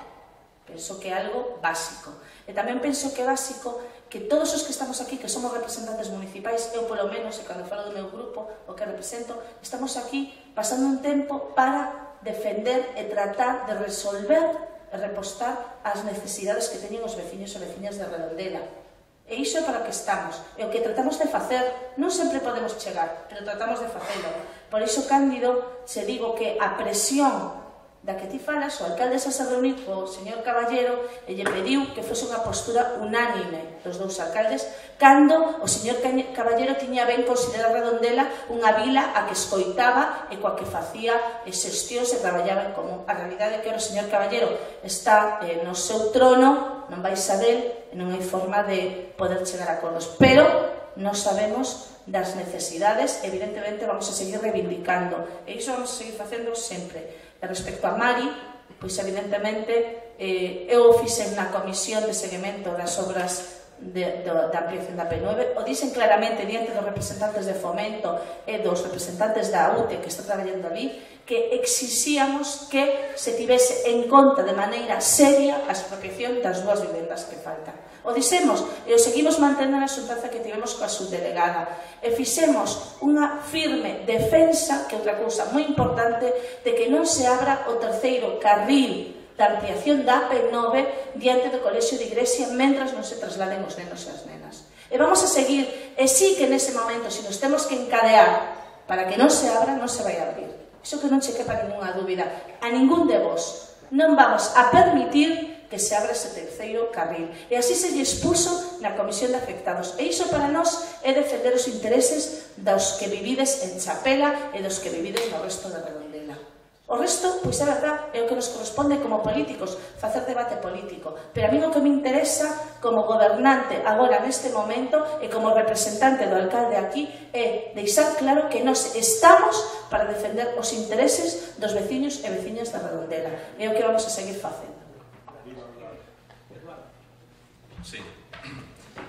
Bueno, pois, pues, como é o último, último turno, pois, pues, eh, tamén como, como segundo, non? Pois, pues, darche as gracias, pois, vir aquí a... Non? Porque sí, porque está, eh, falta, eu creo que en Rautela, pois, falta un pouco isto, eh, estos foros de, de debate, de confrontación de, de ideas que, que ao mellor enriquecen, eh, enriquecen a, bueno, a nós, como, como a nós como representantes de partidos políticos e as persoas que veñen a que asisten a estos, a estos debates. Por tanto, a miña, os meus parabéns. Eh, en canto a a transferencia de a transferencia das, da infraestructura da, da P9 eu creo que se, esta proposta aprobouse por unanimidade no Congreso Galego aprobouse por unanimidade no Congreso Galego esta infraestructura para a transferencia das competencias sobre esta infraestructura E que agora o problema parece ser, se un dice, se un dice Feijo, que hai discrepancias, entrecomillado, hai discrepancias co goberno central, que parece que non está moi de acordo para que esa infraestructura se transfira. Por lo tanto, bueno, non sei que, non sei que eh, os partidos políticos en xeral de Galicia, pues, creo que estamos de acordo, estamos por unanimidade de acordo para que eso se transfira e que, e que realmente pois, pues, O problema, pois, parece ser que está no goberno central. Habrá que preguntarle ao Partido, ao partido Popular. En canto a, a, a Guillerme, pois, eh, encantame porque, porque bueno, fai, cada vez que temos así algún debate, pois, eh, incide, incide sempre no, no transporte eh, colectivo, eh, no, no transporte da área metropolitana, e eu realmente estou absolutamente contigo. Cada vez, cada vez que, cada vez que falo, sei que pouco poder de... Bueno, isto en Ronda xeralmente de, de comisión, obvio, darlle pero de, de execución, pois pues, un pouco. Eu creo que realmente falta un plan de, de infraestructuras neste país, e sobre todo no sur, que realmente non se está facendo. eh? É certo que nós estuvemos 4 anos gobernando na Xunta, pero ten... e non estou falando de, de, do Partido Popular, que, que non é un plan, é un plan de infraestructuras eh, porque neste momento sobre non estamos falando da necesidade de ampliación da, da da autopista, non? Eh, eu quero recordar que, que este tanto no estado Pepe Blanco, pois, cando nos, nos creo que foi no ano 2004, pois deixou, é máis no boi, non? Deixou unha partida para, para, para que se fixera un, o proxecto, o proxecto da estación ou do apeadeiro da parte de abaixo da vía do tren de Chapela. Non o fixeron. Non está feito. E que ocorreu que, ademais, eh, eu algo vez creo que o Partido, o Partido Socialista presentou unha moción neste sentido, en donde, en donde darle moita importancia ao tren de, de cercanías de Intervigo a Pontevedra, convertirlo nun eixo vertebrador do sur de Galicia, que é importantísimo. E que non estamos a facer, é dicir, eu estou a, a, torno a miña culpa que me, que me corresponde, pero creo que é necesario. Eu, eu non levaba alguna, alguna vez unha moción nese sentido. Eu teño, eu teño, teño un, un exemplo eh, porque, bueno, vou moito a, a Gijón eh, teño ali unhas tías vou moito a Gijón, a Asturias e vexo como funciona o tren de cercanías Vigo ou Xixón eh, Oviedo e é magnífico. É dicir, eh, casi casi non hai casi necesidade non hai necesidade bueno, aquela, aquela autopista de Vigo en Gijón, Oviedo é moi, está moi, bueno, con, con moitos vehículos, pero Pero que hai algo que facer así, non? E creo que os políticos neste sentido e os partidos políticos estámonos equivocando de, de cheo, non? de cheo. Porque, claro, pero como nos estamos equivocando tamén, e bueno, xa salindo deste, deste tema, nos estamos falando tamén nos aeroportos, non? Dizer, toda a política eh, toda a política de transportes creo que, que, que Galicia neste momento non ten unha, Galicia, unha, unha, unha política de transportes clara e, e bueno, de, de todas estas propostas eh, que fan cada un da súa maneira, pois veñen estos lodos, que ao final son os veciños e veciñas dunha parroquia de Chapela, pois que está recollendo todas as, as, as todas as, as propostas que ao final que ao final os veciños e veciñas, porque temos veciños que están desesperados, non? E ainda estamos, ainda estamos estamos no, no, no, no fin, pero casi no, xa casi no, no, no final. E que estamos veciños e veciñas que están intentando que por favor que, que, que, que, que compre a caso que, que outro tamén debaixo do ponte decir, ¿eh? estamos neste momento neso para rematar eh, pois eso, a falta de, de, de plans de planeamento de infraestructuras e despois que estamos pois, pues, a casi acabando esta infraestructura e que temos xente pois, un cun grado de, de ansiedade brutal nada máis a todos, se se escuitara máis a sociedade Tes toda a razón. Estás toda razón. Gracias e soldados. Remate.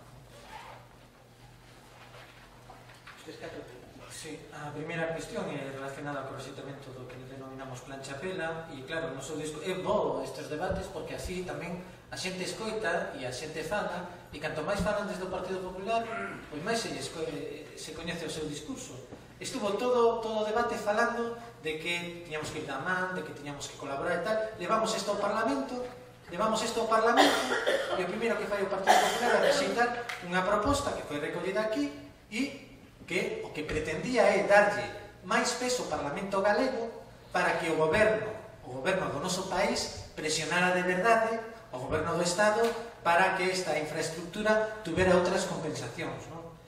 Pero, bueno, o Partido Popular fai ese doble, esa, doble, esa doble moral, non? E en canto ao que está relacionado con esta coa transferencia da AP9 nos apostamos, en parte vai polo discurso que hai aquí, de que os nosos recursos sexan gestionados polo, polo noso goberno. E a AP9 é un recurso moi importante para vertebrar o país, para eh, a cuestión da mobilidade e para que toda a riqueza que xere, xenera se reinvierta no noso país. E o que vamos facer agora é pagar a eh, reversión das autoestradas madrileñas. Entonces, claro, hai tres forzas políticas que non deixan que quen todo esta iniciativa na rúa e no Parlamento, que foi o Bloque Nacionalista Galego, pois non pode ir a Madrid ao Congreso hm, a defender de verdade este, este plantexamento. Entón, bueno, cada quen terá que asumir as súas responsabilidades.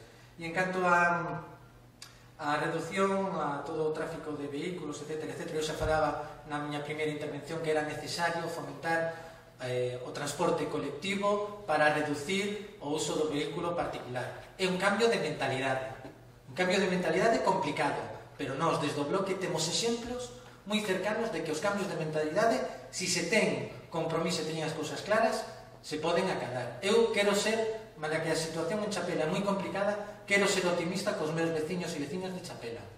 Pensamos que, inda que esta infraestructura vai afectar moi negativamente o futuro do, do benestar dos veciños e veciñas, hai moitas medidas que se poden poñer en marcha, por exemplo, convertir, convertirlo nunha vía humana para a reducción da, do, da, da velocidade e da emisión de gases contaminantes, pero sobre todo fomentando o tráfico eh, os, eh, o tráfico colectivo, os vehículos colectivos e reducindo o, o uso do vehículo particular, non? Entonces nós queremos transmitir unha visión dentro do que hai optimista. O que pasa que a situación agora é moi complicada porque non unha boa planificación e están moitos veciños esperando a que se les expropie as súas vivendas porque a situación na que van a quedar no futuro vai a ser moi, moi mala, moi negativa, moi deteriorada e nós apostamos e na medida do posible vamos a apoiar para que estas vivendas se expropien se estuvera ben planificada a cousa pois non, non estaríamos nesta, nesta situación. Non?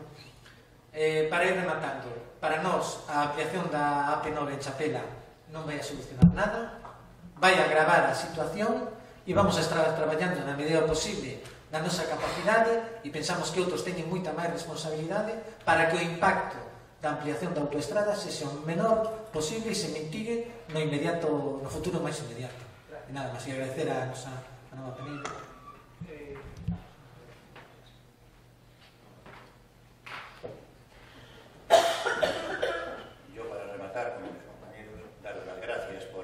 Invitarnos a participar esta primera vez en el debate. Eh, lo que sí queremos es mostrar nuestro total apoyo a, a la Asociación de Afectados a la P9. Sabemos todo lo que ha pasado en estos últimos años y la situación en la que se encuentran los vecinos y está claro que eh, nosotros, como representantes de empresarios, tanto de Redondela como de Chapela, estamos totalmente a su lado y a su disposición. A partir de ahí, eh, yo tenía una serie de puntos que realmente ya nos, me los han ido desgranando los compañeros del debate, pero bueno, de todas maneras eh, los voy a, a citar. Entre ellos, la recuperación, el traspaso, la transferencia de la autopista, si lo teníamos, si lo hemos pedido, la liberalización del, del tramo de, de, Rande también, la canalización anti, con paneles antirruidos de metacrilatos o similares para que amortiguen todo el tema de ruidos. Hemos pedido la iluminación completa, que en este momento no existe, del tramo del Puente Grande a Vigo. También la declaración municipal, como acabas de decir, de vía urbana en el tramo, igual que está haciendo Vigo, con un retraso, porque sí en Vigo ya se ha pedido desde hace 20 años, la declaración de vía urbana. En este momento el Concello, los grupos municipales en Vigo, lo están trasladando al Ministerio. Yo creo que en Redondela los grupos municipales y, y el Consejo debería de plantearse ir por el mismo, por el mismo camino. Y eh, en relación a lo que la pregunta que nos hacía sobre las comunicaciones, estamos hablando de comunicaciones de Redondela con el exterior. Yo en ningún momento he nombrado que se hagan o se construyan nuevas autovías o que eso se desdoble en muchísima más capacidad, pero sí una buena comunicación con los concellos limítrofes que tienen polígonos industriales y que de alguna manera somos eh, correlativos en la instalación de industrias. Y por supuesto, nuestro apoyo y nuestra eh, reivindicación, si queremos, que se ha nombrado desde el público y también aquí en el debate que creemos en el acercamiento en los trenes de cercanías. Ya lo hemos, lo hemos hablado antes y estamos en la misma disposición. Tren de cercanías que nos acerque a la zona Porriño, Tú y frontera portuguesa, porque ese también es un futuro de, a nivel industrial, y tren de cercanías que nos acerque a Arcade, Pontevedra y Santiago. Y con esto remato. Nada, gracias. Bueno, en principio, eh, damos las gracias por habernos invitado a que estas tertulias, inda que tiñan que ter outra disposición um, para os veciños, por exemplo, pois que de aquí salía un compromiso de todos os partidos políticos en conforme apoian de verdad o, o ese paso que hai que dar, porque a ampliación da autopista esa xa está aí, esa non a cambia nadie. Entonces, por lo menos intentar apoiar as solucións sociales que poidan quedar coas secuelas que poida deixar a ampliación da autopista e rural. Agradezcolle enormemente ao presidente de empresarios que efectivamente marquen esa línea de apoio sobre o tema de, das mamparas e o tema de, de, da, da salida de, de Torre de Padín e máis o, o, a retirada do peaxe en Rande. Algo que vimos defendendo desde fai moito tempo e agradecemos todo tipo de, de de apoio sobre eses puntos, porque son puntos que, como viñamos dicindo, vimos negociando desde o principio, cuando todavía non se había formado ni a comisión de seguimiento ni nada. Reunión directamente co director de infraestructuras de, de carreteras de Galicia, co señor, co señor del Río en Coruña, e eso xa se lle viña planteando. Por lo tanto, eso é algo que de verdad temos que defender ahora, porque eh, xa que fai 30 e tantos anos non hemos conseguido as mamparas ni o asfalto eh, engomado para reducir os ruidos e todas esas cousas que a ver se agora entre todos somos capaces de conseguir ese, ese, esa mellora para, para, para a zona de Chapela. Porque a zona de Chapela xa non pode levar máis golpes xa ten bastante e con todo isto, pois agradecer a todos os partidos políticos que de verdad eh, se sintan eh, esto, acompañar, a, que se, se sintan acompañando a, a todo o pueblo de Chapela e que o próximo viernes vamos a facer unha manifestación máis despois das, multi, das multas que vamos facendo o próximo viernes ás 8 da tarde vamos a facer unha manifestación desde a iglesia hasta a rotonda e de volta hasta o pabellón de deportes. Por lo tanto, facemos un chamamento que están todos invitados, creo que todos eles xa recibiron un correo no cual se invita a esa manifestación, pero desde aquí personalmente facemos unha, un chamamento a todo o pueblo de Chapela de Redondela que apoyen en este caso a esta problemática que está encima da mesa que é a última etapa que é a máis dura, a máis peligrosa, é donde nos poden deixar tirados, entonces sí que de verdad quedaremos sin servicios e sin melloras sociales que temos que vertar. Hai que pensar que temos un centro de salud que está ali, que está sufrindo os médicos e nos están queixando continuamente que teñen problemas en certos momentos para consultar polos ruidos que están. Hai momentos que no Gran en, eh, anteriormente había unha ventana para que lle transmitira un pouco de aire fresco, non poden abrirlo porque sería unha catombe, sería un desastre, non escoitarían a nadie Por lo tanto, non só temos que defender a vivienda, senón unha cantidad de melloras sociales que temos na parroquia que se, que se encontran destruídas e tocadas por parte da autopista. E nada máis. Gracias a todos. Eh, bueno,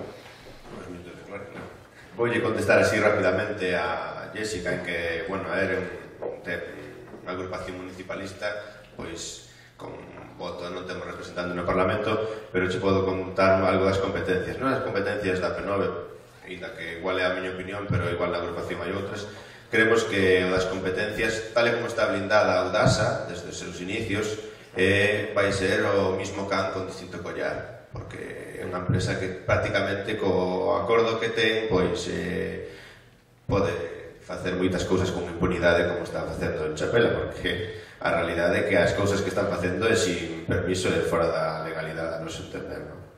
De feito, eh, Nos tamén creemos que hubo unha proposición non de lei de AGES a fai tempo no Parlamento que defendeu Juan Fajardo naquel día que se pedía o rescate da P9 por tramos o sea, ir pouquinho a pouco sacando ya o das ao que non son, non? o sea, que non o queren dar por exemplo, volvo a poñer o peaxe na sombra encima da mesa desde o ano 2006 hai peaxe na sombra na, na autostrada galega e vai a 6 millóns de euros por ano.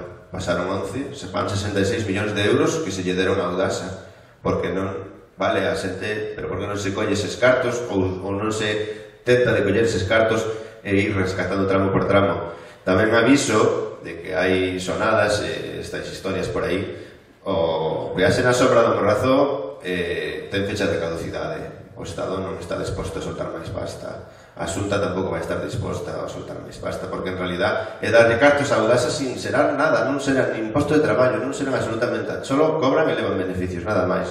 Eh, en tanto Guillermo antes eh, falou aí, eh, sí, porque en realidad es Tantos anos que se leva movendo isto da P9, en realidad el ten razón, poucas cousas se conseguiron, pouquiñas cousas. Se pudo conseguir, pois, unha rotondita para salir, non sei que, non sei canto, pero todo o que conseguiu na P9 os veciños que estaban expropiados todos, todos se conseguiu a base de forza veciñal, o traballo da asociación de afectados, asociaciones de veciños estas historias. E máis, non é por votar por fora, pero a primeira persoa que lle plantou cara ao Audasa no inicio das horas da P9 foi un chaval cunha Yamaha Yog que se lle puso diante da, da, da grúa que estaban a descargar pois un poste que llevan a polerado a casa e desde as 10 da noite hasta as 10 da mañan Iso se conseguiu. Os expropiados que arreglaron os problemas do outro lado do torreiro, onde está na outro lado da, do problema que ten Mari, eses expropiados estuveron oito meses atrancando cos seus coches para que non pasaran as máquinas. Día a día, hola, vou a traballar, veciño, tal, non, mira, eu deixo o coche, ti non deixes, tal, tal. Así, oito meses estuvo E despois chegaron as amenazas da Audasa, do abogado da Audasa, chegaron cartas aos propietarios dos vehículos que se iba a denunciar, que estaban impedindo obras públicas, non sei que, non sei canto, todo iso viva así. Despois de todo iso, viñeron, xa se lle viñeron temporada, e, e viñeron as, as reunións clandestinas, e da que en realidad se falou, pero houve reunións clandestinas, eu, eu as chamo así, da que outros dirán que non, pero eu as chamo así, reunións clandestinas, fora do lugar do subdelegado do goberno e do delegado do goberno en Galicia, pois con coñecidos dos afectados para ver si por aquí aceptar, porque senón pois, plantamos a lei franquista do ano 1954 que nunca ningún partido que estuvo no goberno a modificou, só se modificou no 2006 que fixo o PSOE, por certo, para eh, agilizar máis as expropiacións. Esa é a realidade que temos. Nos están expropiando coa lei dos embalses.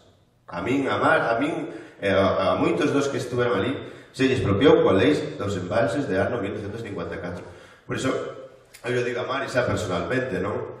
Ela me coñece, e eh, sabe perfectamente, eu loitei polo meu, a mí me da, me da igual un partido, ou outro, pedín apoio. De feito, ahora estou aquí estou en AER porque eh, necesito eh, resarcirme do que me fixeron.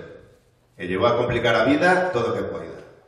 Hasta que a terra me leve, porque esa é a realidade. Porque hubo moito sufrimento en Chapela. Aquí hubo un multiusos, eh, neste, neste propio multiusos aquí de Baixo, foron as apropiacións da P9. A xente non salía contenta, eh? A xente salía chorando. Dai, chorando. Esa é a realidade. E hubo un, non hubo tacto humano ningún, absolutamente ningún. Por iso digo a veces que estes gobernantes que veñen con lágrimas de cocodrilo, eu fago, eu reunións por aquí, eu reunións por alá, cuidado, cuidado, porque a veces ofendedes as persoas que estaban nesas casas. Nesas casas había vida, había infancia, había moitas historias. Había eh, Pois a feliz, perdón, a felicidade de un fogar, todo o mundo teña as súas historias, e lle viu este problema. En realidade non non hubo o que unha axuda institucional, sinceramente. Eu, polo menos, no meu caso personal, ningún. Sería porque igual era o que máis bramaba e o que máis molestaba, que cheguei a molestar moito, e seguirei molestando. Moitas gracias.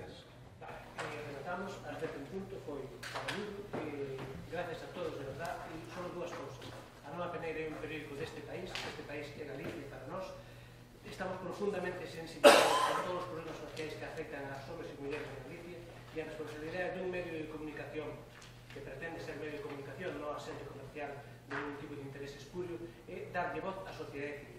E así, segui así seguiremos facendo mentre coidamos con compañía e E a responsabilidade dos partidos políticos é solucionar o antes posible os problemas da sociedade civil. Que así sexa. Gracias.